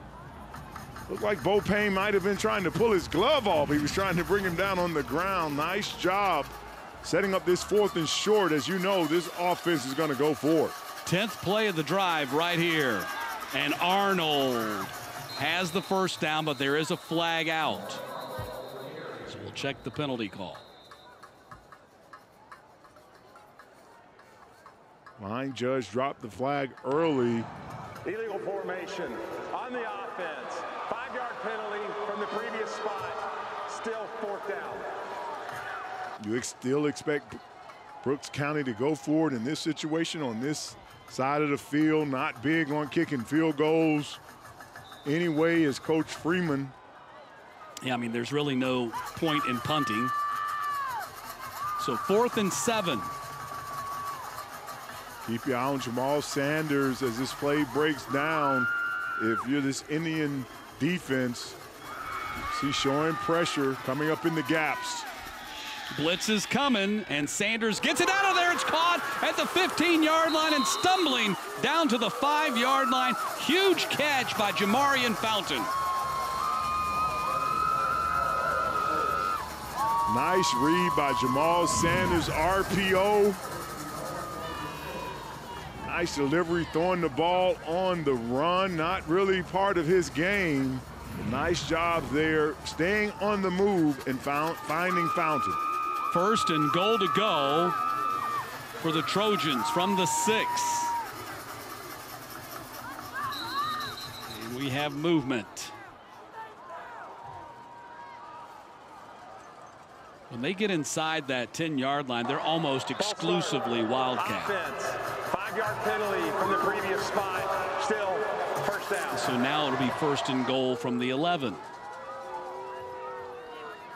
Wildcat direct snapping the ball to Omari Arnold. Extra lineman in the game.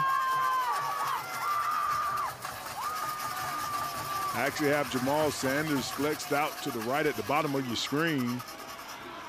Look at the big guy get in there and Malachi Williams, 320 pounds, blow up that play. Only 5'11", 320, only a sophomore. Hard to move. You can see him right there. Just won't be moved at 79 in the middle of your screen. He's seen enough of the of OJ coming up at him. Second down and goal. And another flag, and all of a sudden the game's gotten dirty after a clean first half. False start. Offense. Five yard penalty from the previous spot. Still second down. And this is what you can't have if you're Brooks County.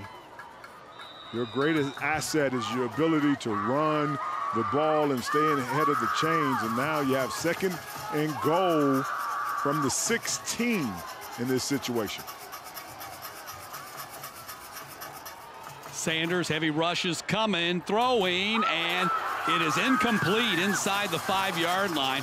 Trying to go to Demps and Bo Payne broke it up. Jamal Sanders, as we talked about, more in the fashion of a receiver here, not able to step into this throw, just flinging it out with his arm. Not really where you want to go in the middle of the field, throwing the ball that way, getting away with it in that situation. And in this, as we talked about, Brooks County still in a four down mindset, even this far away from the goal line. They have not attempted a field goal in two years. Third and goal. Handoff goes to Arnold, and he gets stonewalled at the line of scrimmage, and now it's going to be fourth down. Big play by the Irwin County defense right there, and that was Nemo McCoy.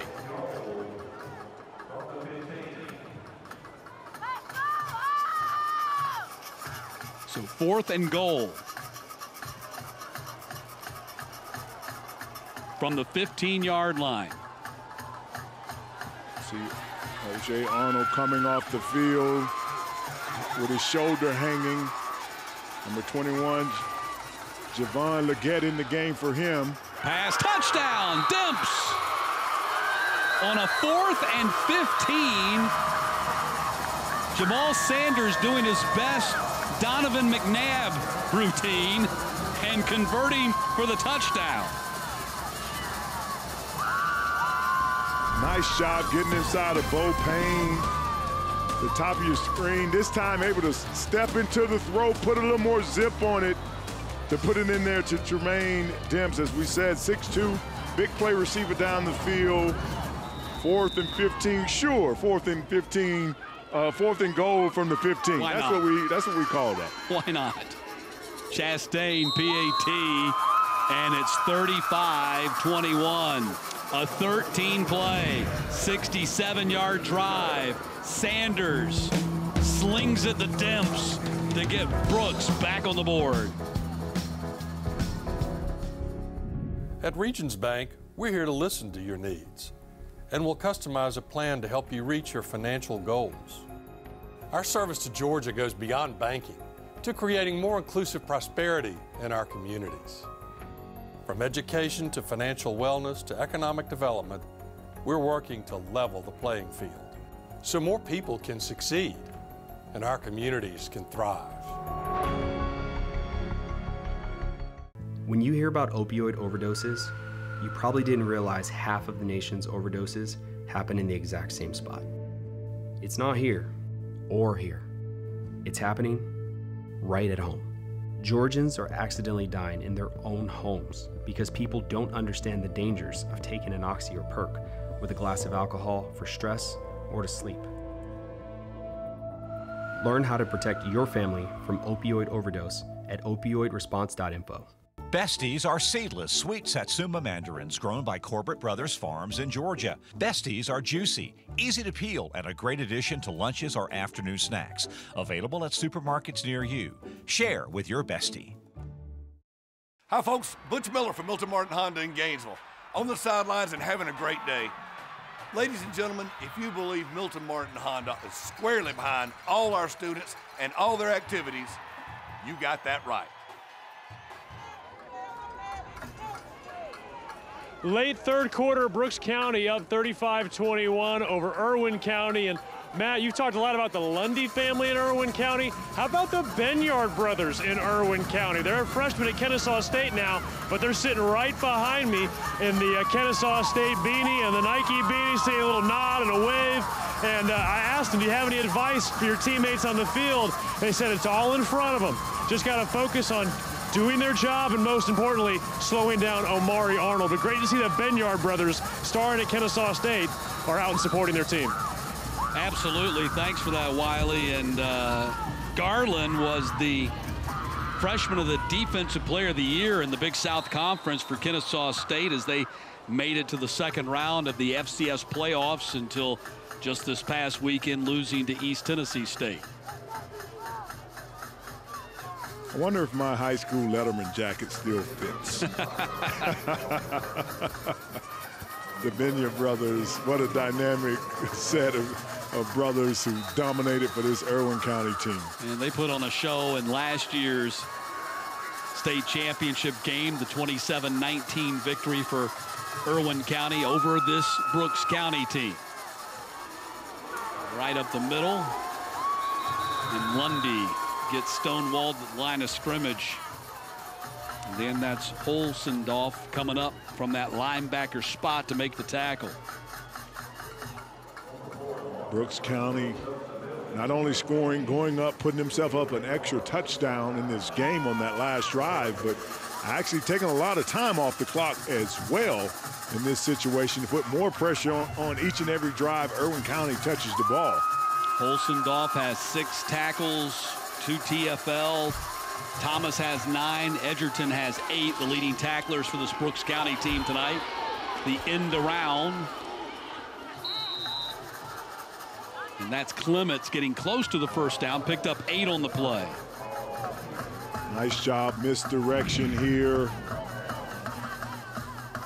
Good blocking to get to the edge, and I love the way that Clements finished this run, fighting for each and every yard. Third down and one right here. Irwin went three and out on their opening drive of the second half. And then Brooks went on that 13 play drive to reestablish a two touchdown lead. Now a huge third and one right here. And now it's going to be third and six. And get the right tackle, William Johnson, with a false start. Offense. Five yard penalty from the previous spot. Still third down. And with a lot of teams, this would be an issue. But as we talked about so much in this game, both of these teams have a four down mindset. So look for Irwin County still to stick to their guns, get downhill, get two or three yards, if not the first down in these situations. Irwin is three of seven on third downs in this game. We are late in the third quarter now, under three minutes to go in the period. And Soliday going to be stopped short of the first down. Good pressure by Trayvon Jackson, the end, upfield, not letting Soliday get to the edge, keeping it on the ground. Fourth and three. Irwin County still feels like in these situations they can run their offense. As you can see, Soliday going back in the game on this fourth and three. Big fourth down conversion right here. Get it, you keep this drive alive. You lose it, don't get it. You give Brooks County a short field, and they already have a two touchdown lead. Lundy, second effort, and Demarcus Lundy picks up the first down. Alon Harvey, the end, crashing down, gets the initial hit on Demarcus Lundy, but not enough to bring him down right here. Number 11, he gets the hit, just not able to bring the power back down. Nice job keeping his shoulders, and right there the ball comes out clearly after he was on the ground. I love the balance of the running backs that we've seen here tonight and their fall forwardness. Lundy actually, for his size, you would expect a little more finesse, but he is great getting downhill and after contact, as you can see right there, it takes two, three more yards to bring him down. Let's check in with Wiley real quick. Well, some concerning news if you're a Brooks County fan. Uh, Omari Arnold is in the medical tent getting some attention. Looks like he's getting looked at his upper body around the neck area. Uh, he is sitting upright. You might be able to see him through a couple of players uh, here on the Brooks County sideline, but that is a situation to monitor very seriously for uh, Brooks County. Thank you, Wiley, for that report. Keep eyes on that for us, please. Can Brooks win without Arnold, even when they lead by two touchdowns? That's the question. Soliday being chased by Holsendorf, and he's going to pick up the first down. Holsendorf was closing fast, but Soliday, with the escapability, picks up the first down. Bad angle by Holsendorf right here, number 15. Go out wide, didn't anticipate the speed of Soliday. Nice job picking up that first down, getting out on the edge. Less than 30 seconds left in this third quarter. What a dramatic fourth quarter finish we could be headed to in this single A state championship game.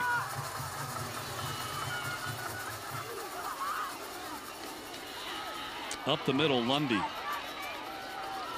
Another solid five, six yard gain.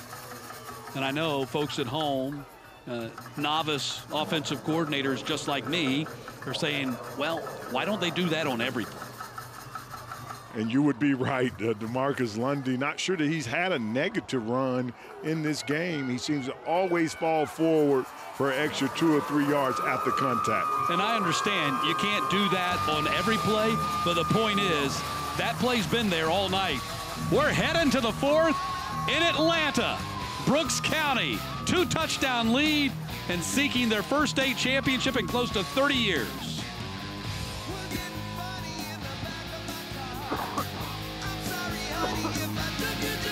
We press on for you because it's our mission. Dedicated to investigation because the facts matter. Fueled with determination because it's our calling. Driven by passion because you deserve to know what's really going on. Your support matters. Thank you. As Morning Light signals the start of business, Georgia's electric membership cooperatives are right there with you. Georgia's EMCs are a partner in economic development, serving commercial accounts big and small that drive Georgia's economy. From leading industries we rely on to local shops we treasure, we support operations on the ground, care around the clock, and growth through the seasons, lighting up good business. So business is good. Georgia's EMCs, so much more than electricity. When you hear about opioid overdoses, you probably didn't realize half of the nation's overdoses happen in the exact same spot. It's not here or here. It's happening right at home. Georgians are accidentally dying in their own homes because people don't understand the dangers of taking an oxy or perk with a glass of alcohol for stress or to sleep. Learn how to protect your family from opioid overdose at opioidresponse.info. Casey Soliday on the left, Maurice Freeman on the right. Friends and foes, they know each other very well because they've played each other so much the last two years. We are 12 minutes away from crowning a state champion here in single A. And the good news for the Trojans, Wayne, is that Omari Arnold is up out of that tent got his helmet on. Big drive here for Irwin County to keep pace in this game. You start feeling like each and every time they touch the ball offensively, they're going to have to get in. Big play here. Nice job there by Bryce Clement getting out of trouble. Look, wide receiver screen out on the edge. The ability to make two or three people miss by Clements, picking up big yardage to set up this first and goal. That was a huge play by Bryce Clements right there. And it's going to be first and goal at the six yard line. That was a 19 yard pickup.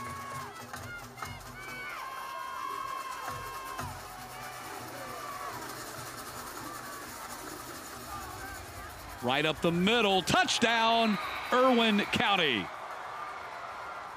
Demarcus Lundy takes it in from six yards out, and it is 35 27. Took a few times the last time they were first in goal to get around to the rush game. This time, nice job. Can't talk enough about Lundy's ability to run after contact, square shoulders behind his pads. And we, in, in these situations, just hard for one guy to bring him down. Big time touchdown for him.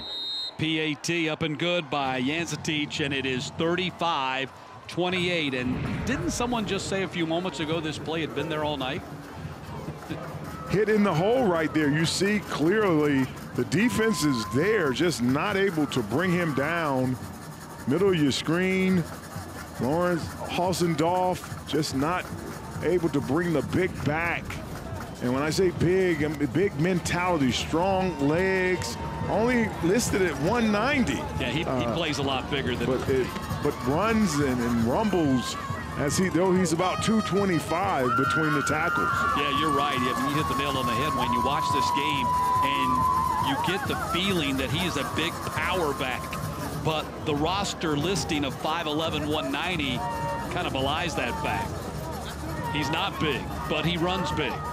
And he's got 94 yards rushing on 15 carries, and that was his second touchdown of the night.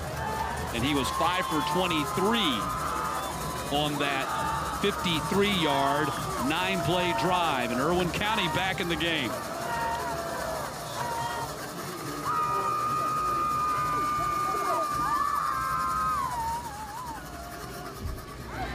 This time they kick to the end zone and return opportunity from the six-yard line. And that's Sanders, the quarterback, on the return. Arnold not back there. Remember, they were working on his shoulder, so I'm guessing they're trying to preserve him. He's, let's let him take his hits between the on scrimmage plays and not on kick returns. And he's walking a little gingerly there as well. Not in the huddle yet, kind of finally walking towards it. You're right, Matt. That was a function that there was no Omari Arnold on the field at all on that kickoff, and they finally kicked the ball down the field. So Sanders in there at quarterback after the kick return. He was banged up the first time they played, had a little bit of an Achilles issue. This is the first time tonight we've really kind of seen that he was a little gimpy after that kick return. Nothing wrong with Omari Arnold. There he goes. Spectacular. 86 yards. Mr. Arnold grabbing his shoulder there at the end, but nothing's wrong with his vision, and there's nothing wrong with his speed. Great blocking on the left side of this line, getting behind the big guard and tackle over there. Williams and Williams, the Williams brothers, and then out to the races. This is how he started the game with the big long run. Not sure how bad that shoulder is, but still playing huge for his team. 19 carries, 257 yards, and four touchdowns. That is a state championship performance. PAT is good. Omari Arnold, he was in the medical tent. They were working on his shoulder. He came, comes back out, first time he touches the ball. You don't need the shoulder to run 86 yards for a touchdown. It's 42-28.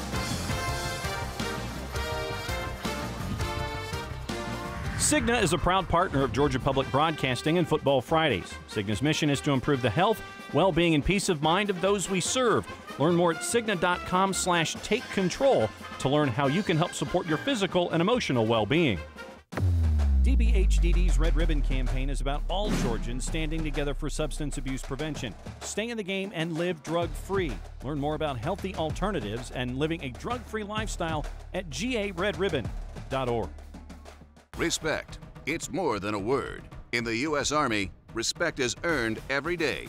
Now, in addition to earning respect, you may qualify for more. Information at goarmy.com slash bonus or 800 USA Army. Paid for by the U.S. Army.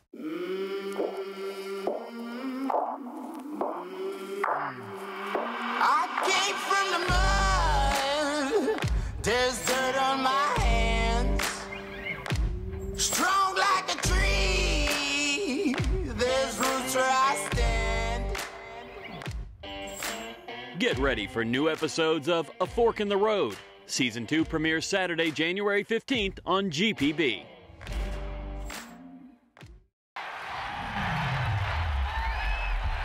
a lot of anticipation in the air right now.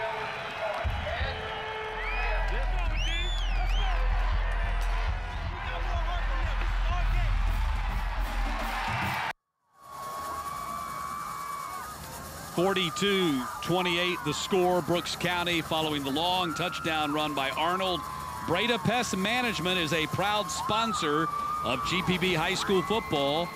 The Bredas believe in giving back to the communities they serve since 1975. Breda has protected homes from bugs and critters. BredaPests.com.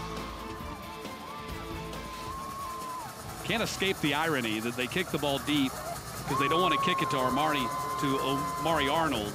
And so he comes out, and the first time he touches it, he goes 86. High bouncing kick is going to be taken by Snyder, who gets a return up to the 49 yard line. And you saw Arnold is back in the medical tent, and we're told so is quarterback Jamal Sanders. Looks a, a pinched nerve, maybe. We only need 11 minutes uh, more action. That's what you go over there and you tell him as your coach or player, hey, we need just a couple of more carries to seal the deal. What a dynamic player. Uh, and that's what we talked about early with him. Not really the recognition he probably would have gotten if he was at maybe a bigger program, but a big year he had. Downfield and broken up at the 15 yard line. Some fine defense right there for Bo Payne as Soliday was trying to connect with Haddon.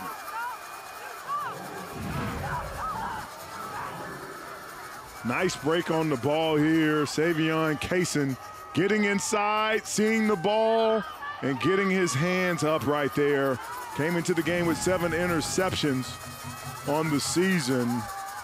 Showing great ball skills there, getting his head around, breaking on the ball.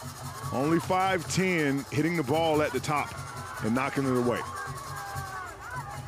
So second down and 10, ball at the 48. Lundy.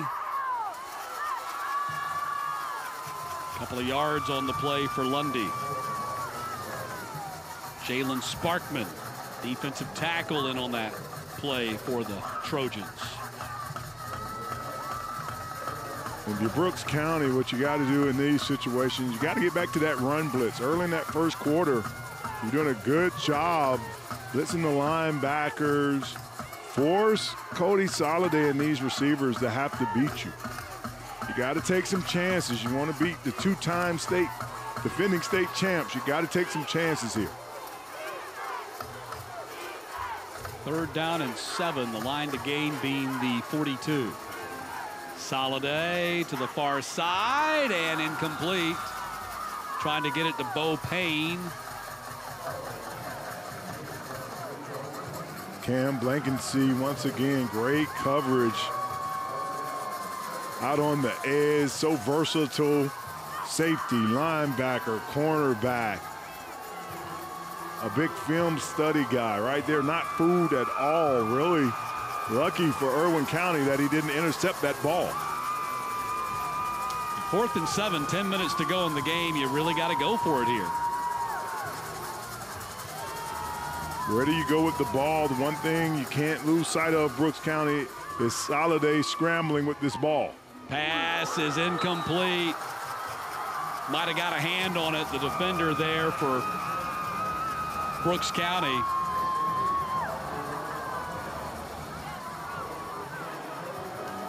That's a super play by Jeremiah Henderson, the outside linebacker. Ball goes over on downs. Irwin County feeling like they got to keep pace with this offense of Brook County, the way that they have been able to score and not just score. We saw earlier in this half them go on a 13 play drive, eating up clock. Right now, they like to pull that back out and try to take another four or five minutes off driving this one. So now a short field. If you can score here, Brooks County, you in all likelihood put the game away. Arnold's back in there. Not only is he fast, he apparently he's very tough too. And now, now it's getting to the point where you have to hold your breath when O.J. Arnold touches the ball. It just seems that if he gets to that second level, he might go to the end zone. Five-yard penalty from the previous spot. Still, first down. You see his performance tonight relative to what he did the first time these two teams played back in the regular season. He has essentially tripled his night. He has triple the yards that he had in the eight-point victory for Irwin County in the regular season. And he's been running with that kind of conviction. Oh, yeah. As though he remembers Oh, yeah. that was probably, not looking at the stats, probably his worst game in his mind, only 83 yards. He's made of it, made up for it in a big way. He is so darn fast. Look at this guy. Turns the edge, and there he goes. Touchdown number five.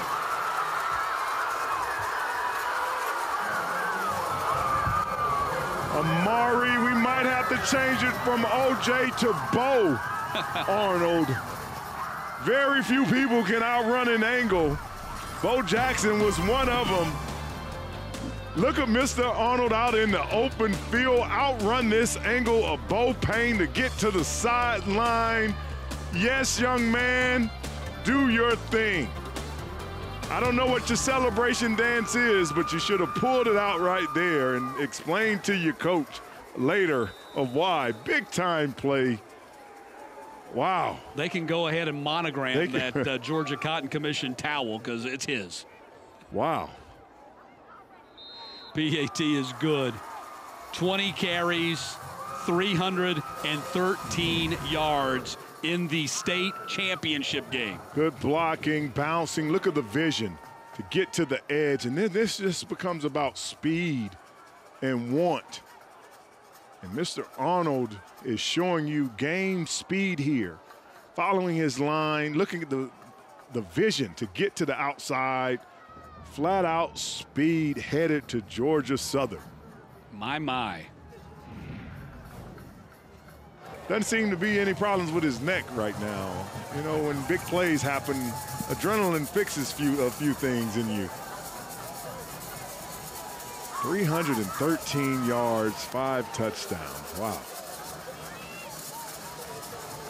Still 9.29 left in the game. He has been so much fun to watch tonight. I mean, it's one thing, it's rare. I think in my lifetime, that's just the second 300 yard rushing game I've ever called, maybe three. And I've been doing it a long time. Uh, but when you do it in a state championship game, that's just kind of otherworldly. To expect that you're going to have a 300 yard rushing game in a state championship game against a team that's going for its third straight state title, has beaten you three times in a row. I got to get back to high school, Matt. I, I, I, was, I was in the pros by the time I could get a massage. Got like four people over there massage. You deserve it, though, young man. I don't think you ever ran for 300 yards, did you? You blocked for 300 yards, but you didn't run for any three. And there you see Hallie. You saw the get back, coach. If you were with us at the start of the game, that we got to get a got to get another look at that. Yeah, Wiley interviewed Hallie, who is Coach Freeman's daughter. She's in pharmacy school at the University of Georgia after graduating from Fort Valley State. So congratulations to her. She's got a final exam tomorrow. And on this Thursday night before her final exam, she's get back coach. Come on, Dad. Come on, Dad. Get back. Come on, Dad. Get on back here. I love that.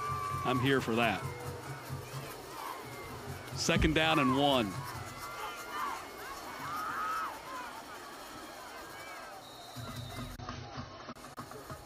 Marshall on the carry picks up the first down for Irwin County. The time is running out now on the Indians. And that's the beautiful thing about this game. This Irwin County run game has been just as impressive with Marshall and Lundy on the other side of the ball. These both of these offensive lines are executing, uh, and, and there's some running going on on this field. It's just that Arnold on the other side, the explosiveness is, is just making us fans of him tonight. Soliday is going to get run down in the open field by Blankensee. Drop the hammer, young man.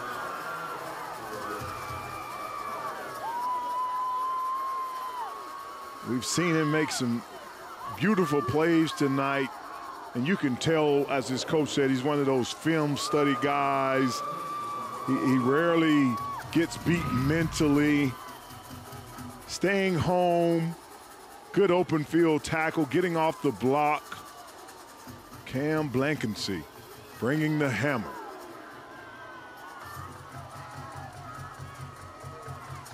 Now seven and a half minutes to go, second and 17. Flag out.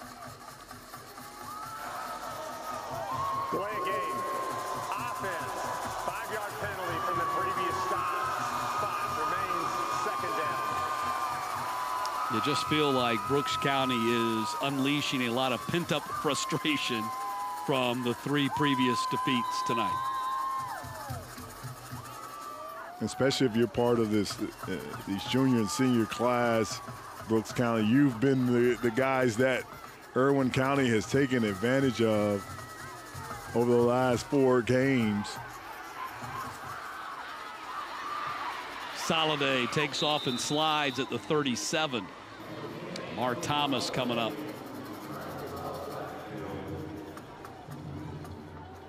I, if I'm not mistaken, I believe we saw this last year too. Um, Coach Freeman's got his, his fingers, his knuckles taped like an offensive lineman, doesn't he?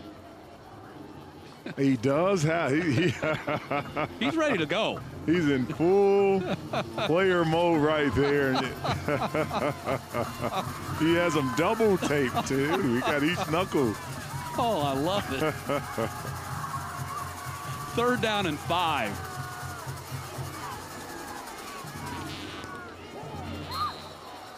And when he tells us on our Zoom calls that they're bringing the hammer, I believe him. Says his dog name is Hammer. Tag on his car has Hammer on it. That's his approach to the game. That's his style. That's what he tries to teach his team. It's a mentality. Now we just got to get them to tape them together. That's when you're a real offensive lineman because they've been jammed so much that you have to have them support each other to even play. That's first game. That's the first game of the season tape job. By now, to get the, the fingers have to be taped together. Fourth and five now for Irwin County from the 37. Soliday. It's picked. Could be going back. Still on his feet. And six more for the Trojans. Jeremiah Henderson, 70 yards on the pick six. And folks in Quitman, if you hadn't started celebrating yet, you got my permission. Look at the eye and the vision of Henderson watching the quarterback the whole way. Cody Soliday trying to get the ball to Malachi Hayden out on the edge. Beautiful break on the ball. Nice job by the defense there. Kind of closing the door on any opportunity for Irwin County. 55-28.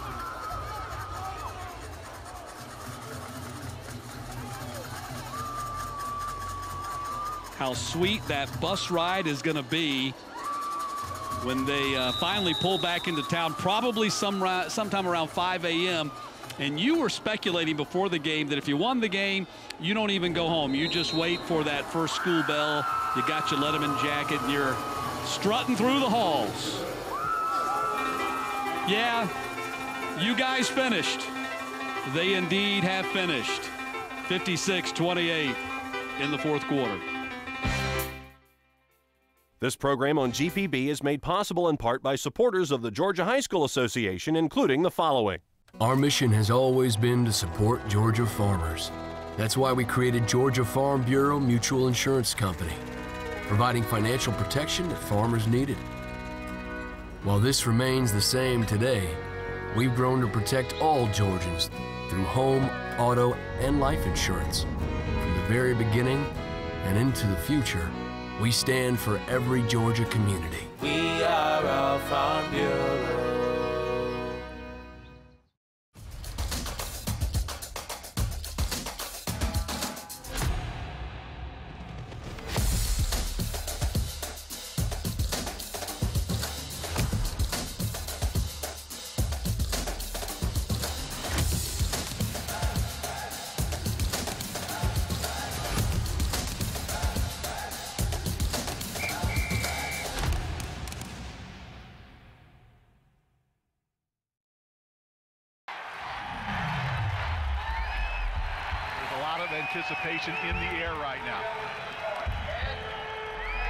Half of the nation's opioid overdoses happen right at home because people don't understand the dangers of taking an oxy or perk with a glass of alcohol for stress or to sleep. Learn how to protect your family from opioid overdose at opioidresponse.info. 56-28, Brooks County going to win the single A state championship here in 2021. And time now to take a look at the play of the game. It is presented by Besties. Share with your bestie, Wayne, from the medical tent to 86-yard sprint for touchdown. Tightness in the shoulder, but nothing's wrong with the hamstrings. Big time blocking up front, and then the juice is really loose right here in the open field with the big, long touchdown, which was the theme of the night for him. Omari O.J. Arnold in his senior and last game for Brooks County made it one to remember.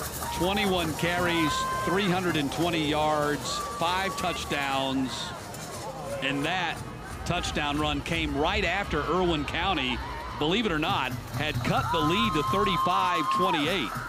But that was the backbreaker, and the Indians have never recovered from that 86-yard touchdown run. Three unanswered touchdowns by Brooks County have blown this game open with just over six minutes to play. Uh, I was I was just gonna say that they made that plank of wood before the semifinals. If you wanted to tell Matt that, but the, the moment may have passed.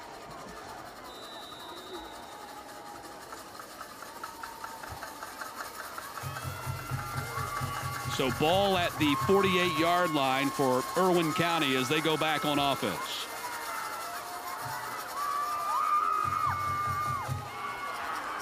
And Soliday going to stumble forward for about a two and a half, three yard pickup. Cody Soliday getting outside of the pressure. Brooks County still dialing up the run blitz pressure there, expecting the run. Nice job of him getting to the outside. And this Brooks County team, back-to-back -back champions, state champions coming into this game. Great season they put together at 12 and 2 to get to this. Some of the long stares you find as you face defeat.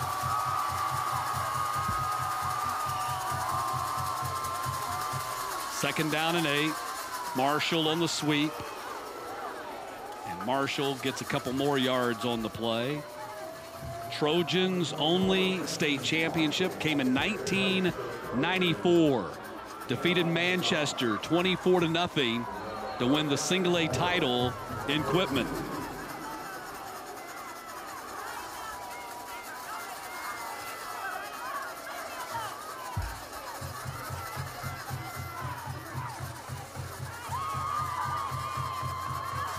Third down and four.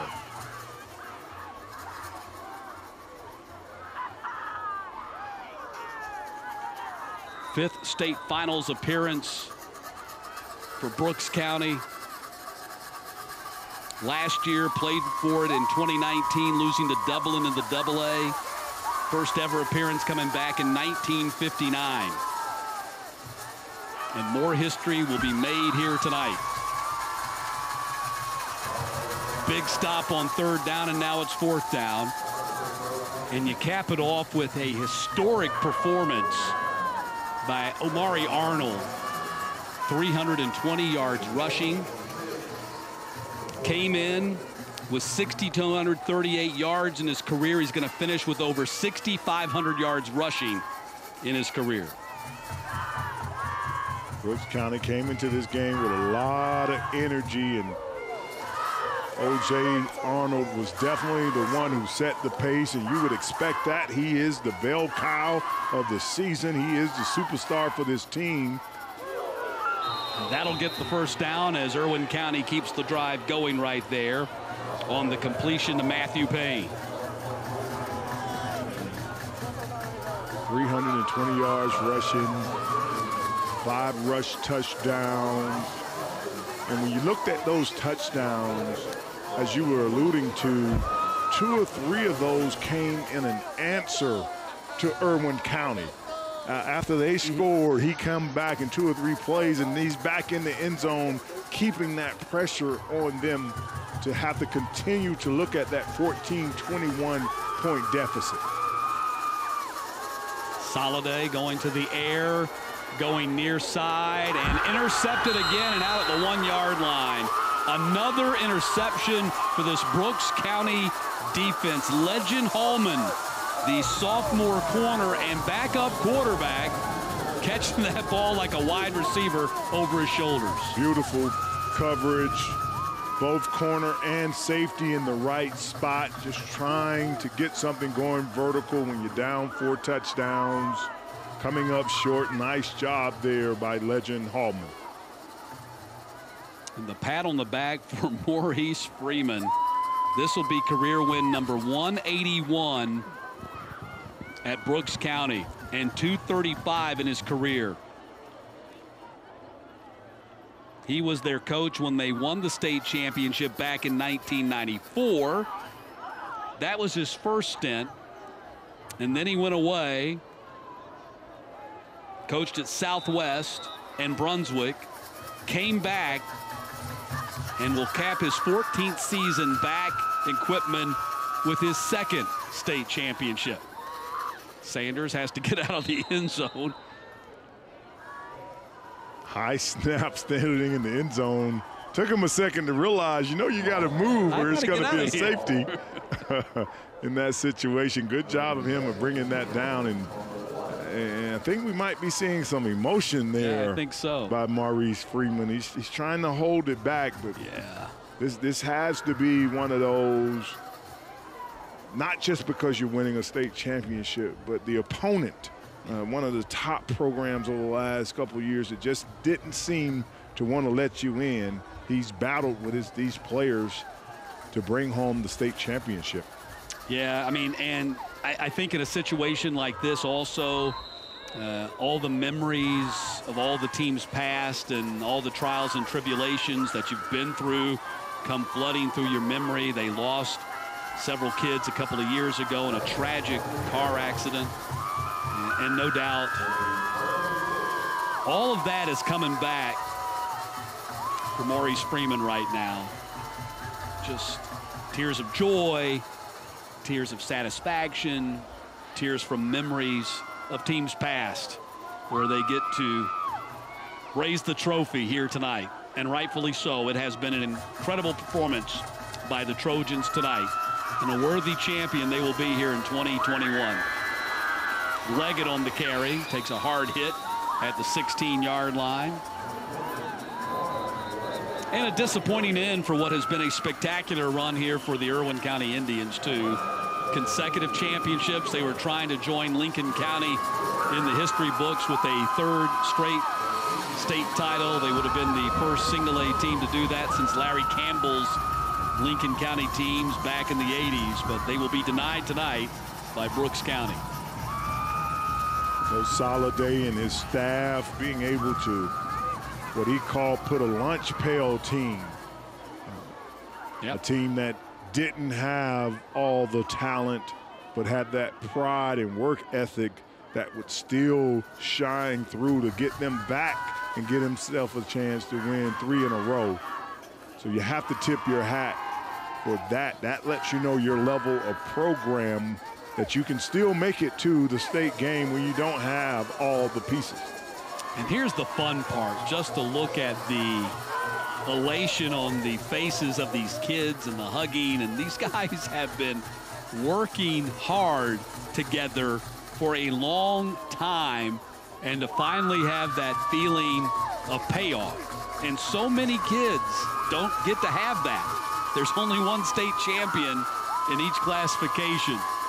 And to be able to experience that has got to be incredible for these Brooks County Trojans tonight. But Matt, our biggest question is, are we going to let Coach Freeman off the hook?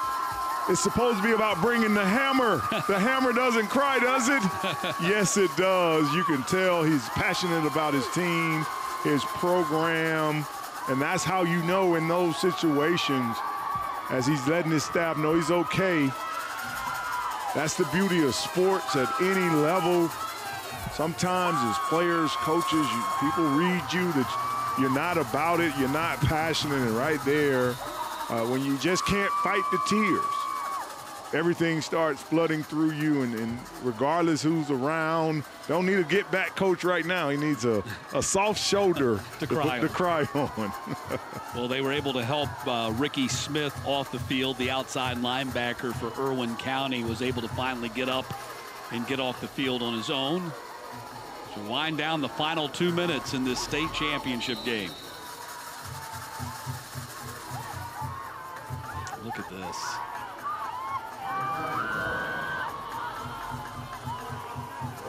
And you just and players out there watching this and coaches out there watching this know these moments and just how much of a family you become on the football field and how oftentimes your coach becomes like a second father to you or an uncle or a big brother and plays such an important part in your life and you see the emotion you know you see the tears from the players which don't necessarily reflect what you would think they would be feeling, but they're overcome with the emotion of um, such a huge accomplishment, winning a state championship, something that they will carry with them their entire lives. Guys have sacrificed, as you see right there. Jamal Sanders, a guy who didn't think uh, it was in his best interest to move from receiver to quarterback, and how sweet that has to be for him to bring home a state championship for his coaches. And as you said, not just players, not just the head coach. You see tears in the eyes of the assistant coaches that everybody was all in and trying to take this back home and put it in the trophy case. False start. Offense. Five-yard penalty from the previous spot. Still third down. Hey, ask him what he wants. What a great battle tonight between these uh, two teams that over the last two years have become big rivals. Irwin County got them last year. Brooks County got them this year. So that means they got to play next year, right? To settle it all. the rubber match. I'm quite sure the Irwin County fans is, but you can't bring OJ. you got to let him go. Do not bring back Omari Arnold. There you go. Final seconds here in Atlanta. Brooks County 56 28 winners. State champions for the first time since 1994.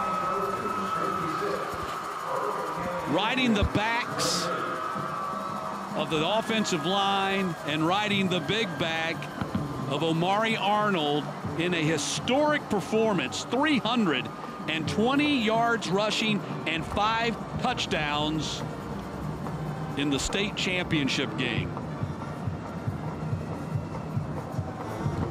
Brooks County brought a lot of energy to this game early on. Offense, defense, everybody riding that wave to accept the challenge to bring home the victory.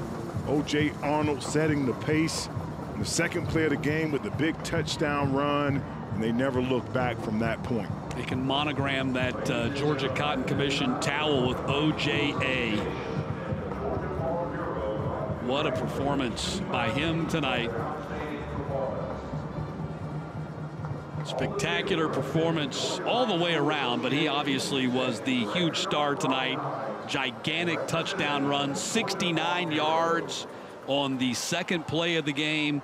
And then what we showed you was the play of the game, that 86-yard touchdown run after Irwin County had cut it to 35-28.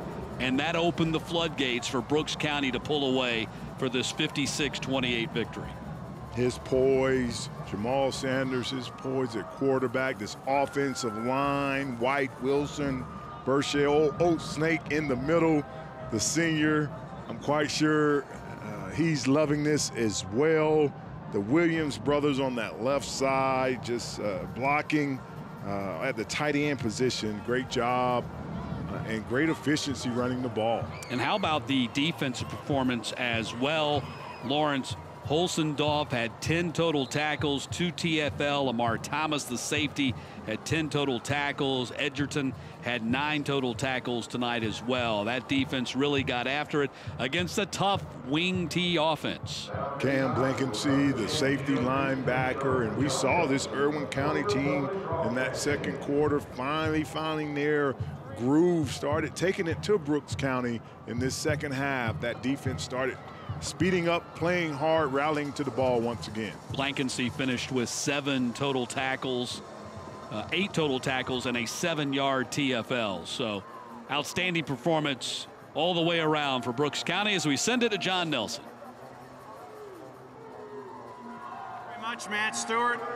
It is a family affair, first and foremost.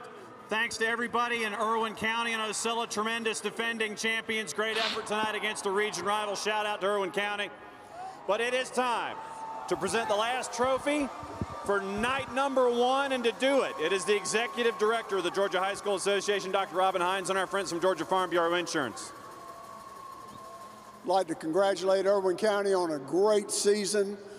Had a great run, been here for a long time, and your crowd was super. Thank you for being here. But tonight, this night belonged to Brooks County. Did a great job, coach.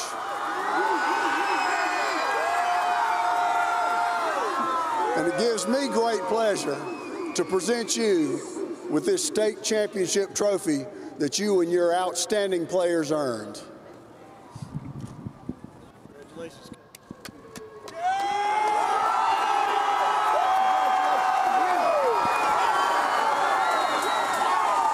First time since 1994 that you've been able to put that left hand around a trophy.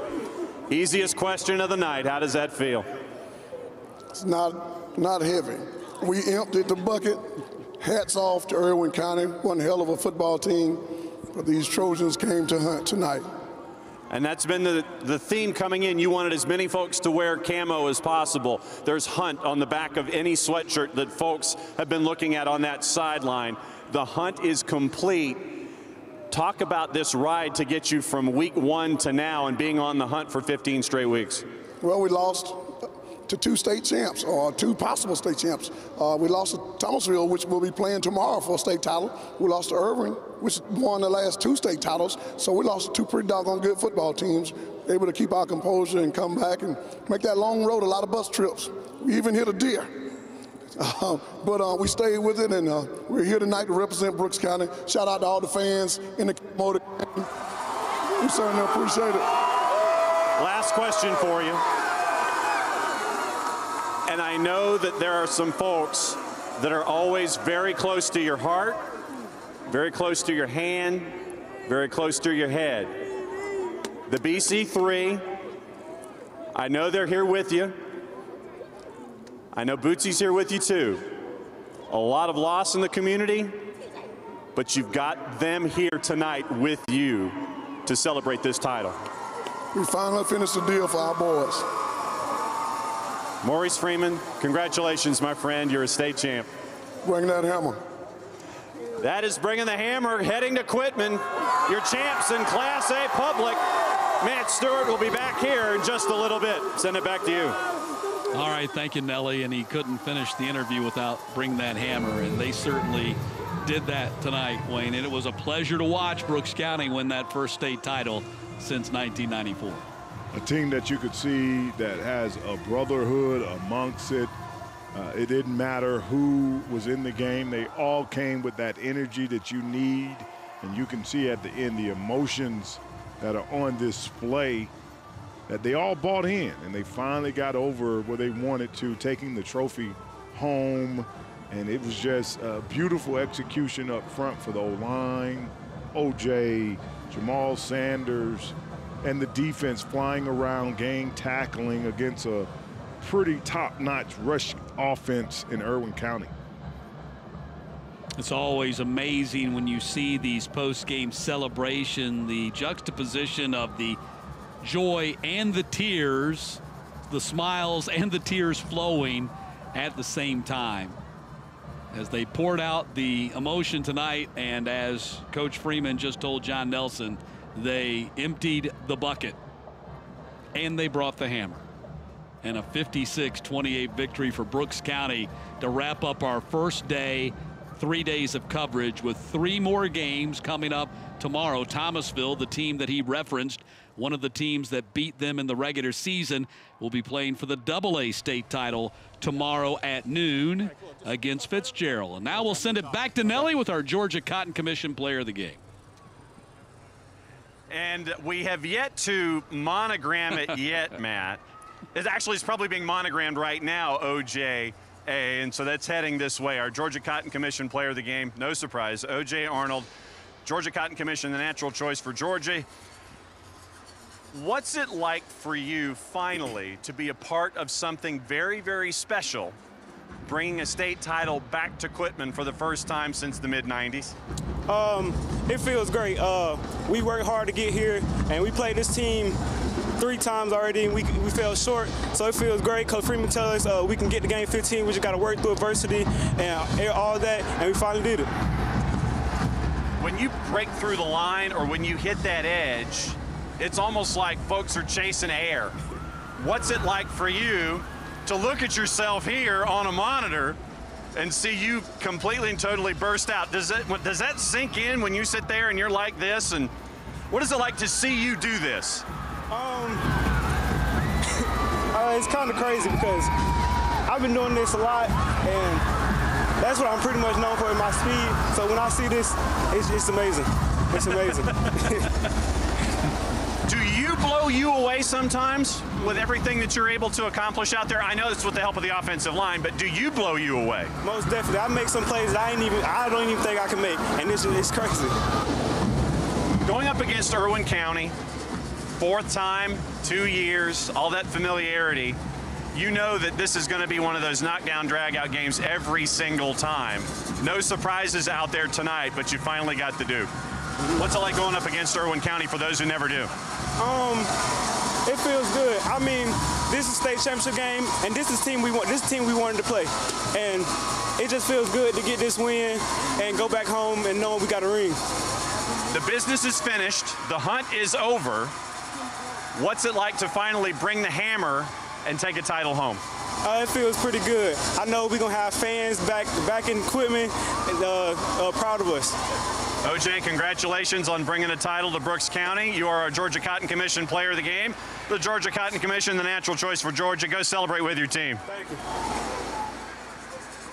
Tremendous effort by OJ Arnold, 21 for 313 tonight, Matt. And the towel and the hat Yeah. are his, no surprise. Nellie, it's always fun to watch you do those interviews and get to see the personality of the players behind the great plays. And I thought it was funny that he said he even surprises himself sometimes. that last run, he had so many great runs tonight. He had 320 yards, so he had a lot of great runs. But that last run, the 56 yard touchdown run, was the one that really had our jaws dropping. out outrunning that angle of Bo Payne for Irwin County to get to the edge. I'm quite sure he didn't know he had that gear in him. We're going to see a lot of performances over the next couple of days. Not sure we're going to see anything better than we saw tonight in Mr. O.J. Arnold. OJ Arnold chatting it up with Stan Autry, our GPB reporter down there on the field, getting his story ready for online. You'll be able to read that here in the coming hours as well. What a performance by Brooks County. The emotion flows for the Trojans. A 56-28 victory over Irwin County here tonight. A lot of fun to watch it. A lot of fun to watch Omari Arnold. For those who had never seen him before, you got your eyes full. Three more games coming up tomorrow. We kick it off at noon with the Double A state title game, and then 4A and 6A as well. And now for Wayne Gandy, Wiley Ballard, our entire GPB team. That wraps up day one. We'll see you tomorrow, day two. The 2021 GHSA Football Championships on GPB are presented by the Governor's Office of Highway Safety, reminding you to be safe on every trip. Buckle up, Georgia. Also brought to you in part by Regions Bank. Get back in the game with Regions Bank. DBHDD. Win by learning about safe usage of prescription opioids. Georgia's EMC's official energy provider of the GHSA. Cigna, together all the way. DBHDD, stay in the game and live drug free. And this supporter of the GHSA, the Georgia Farm Bureau, always the home team, and viewers like you.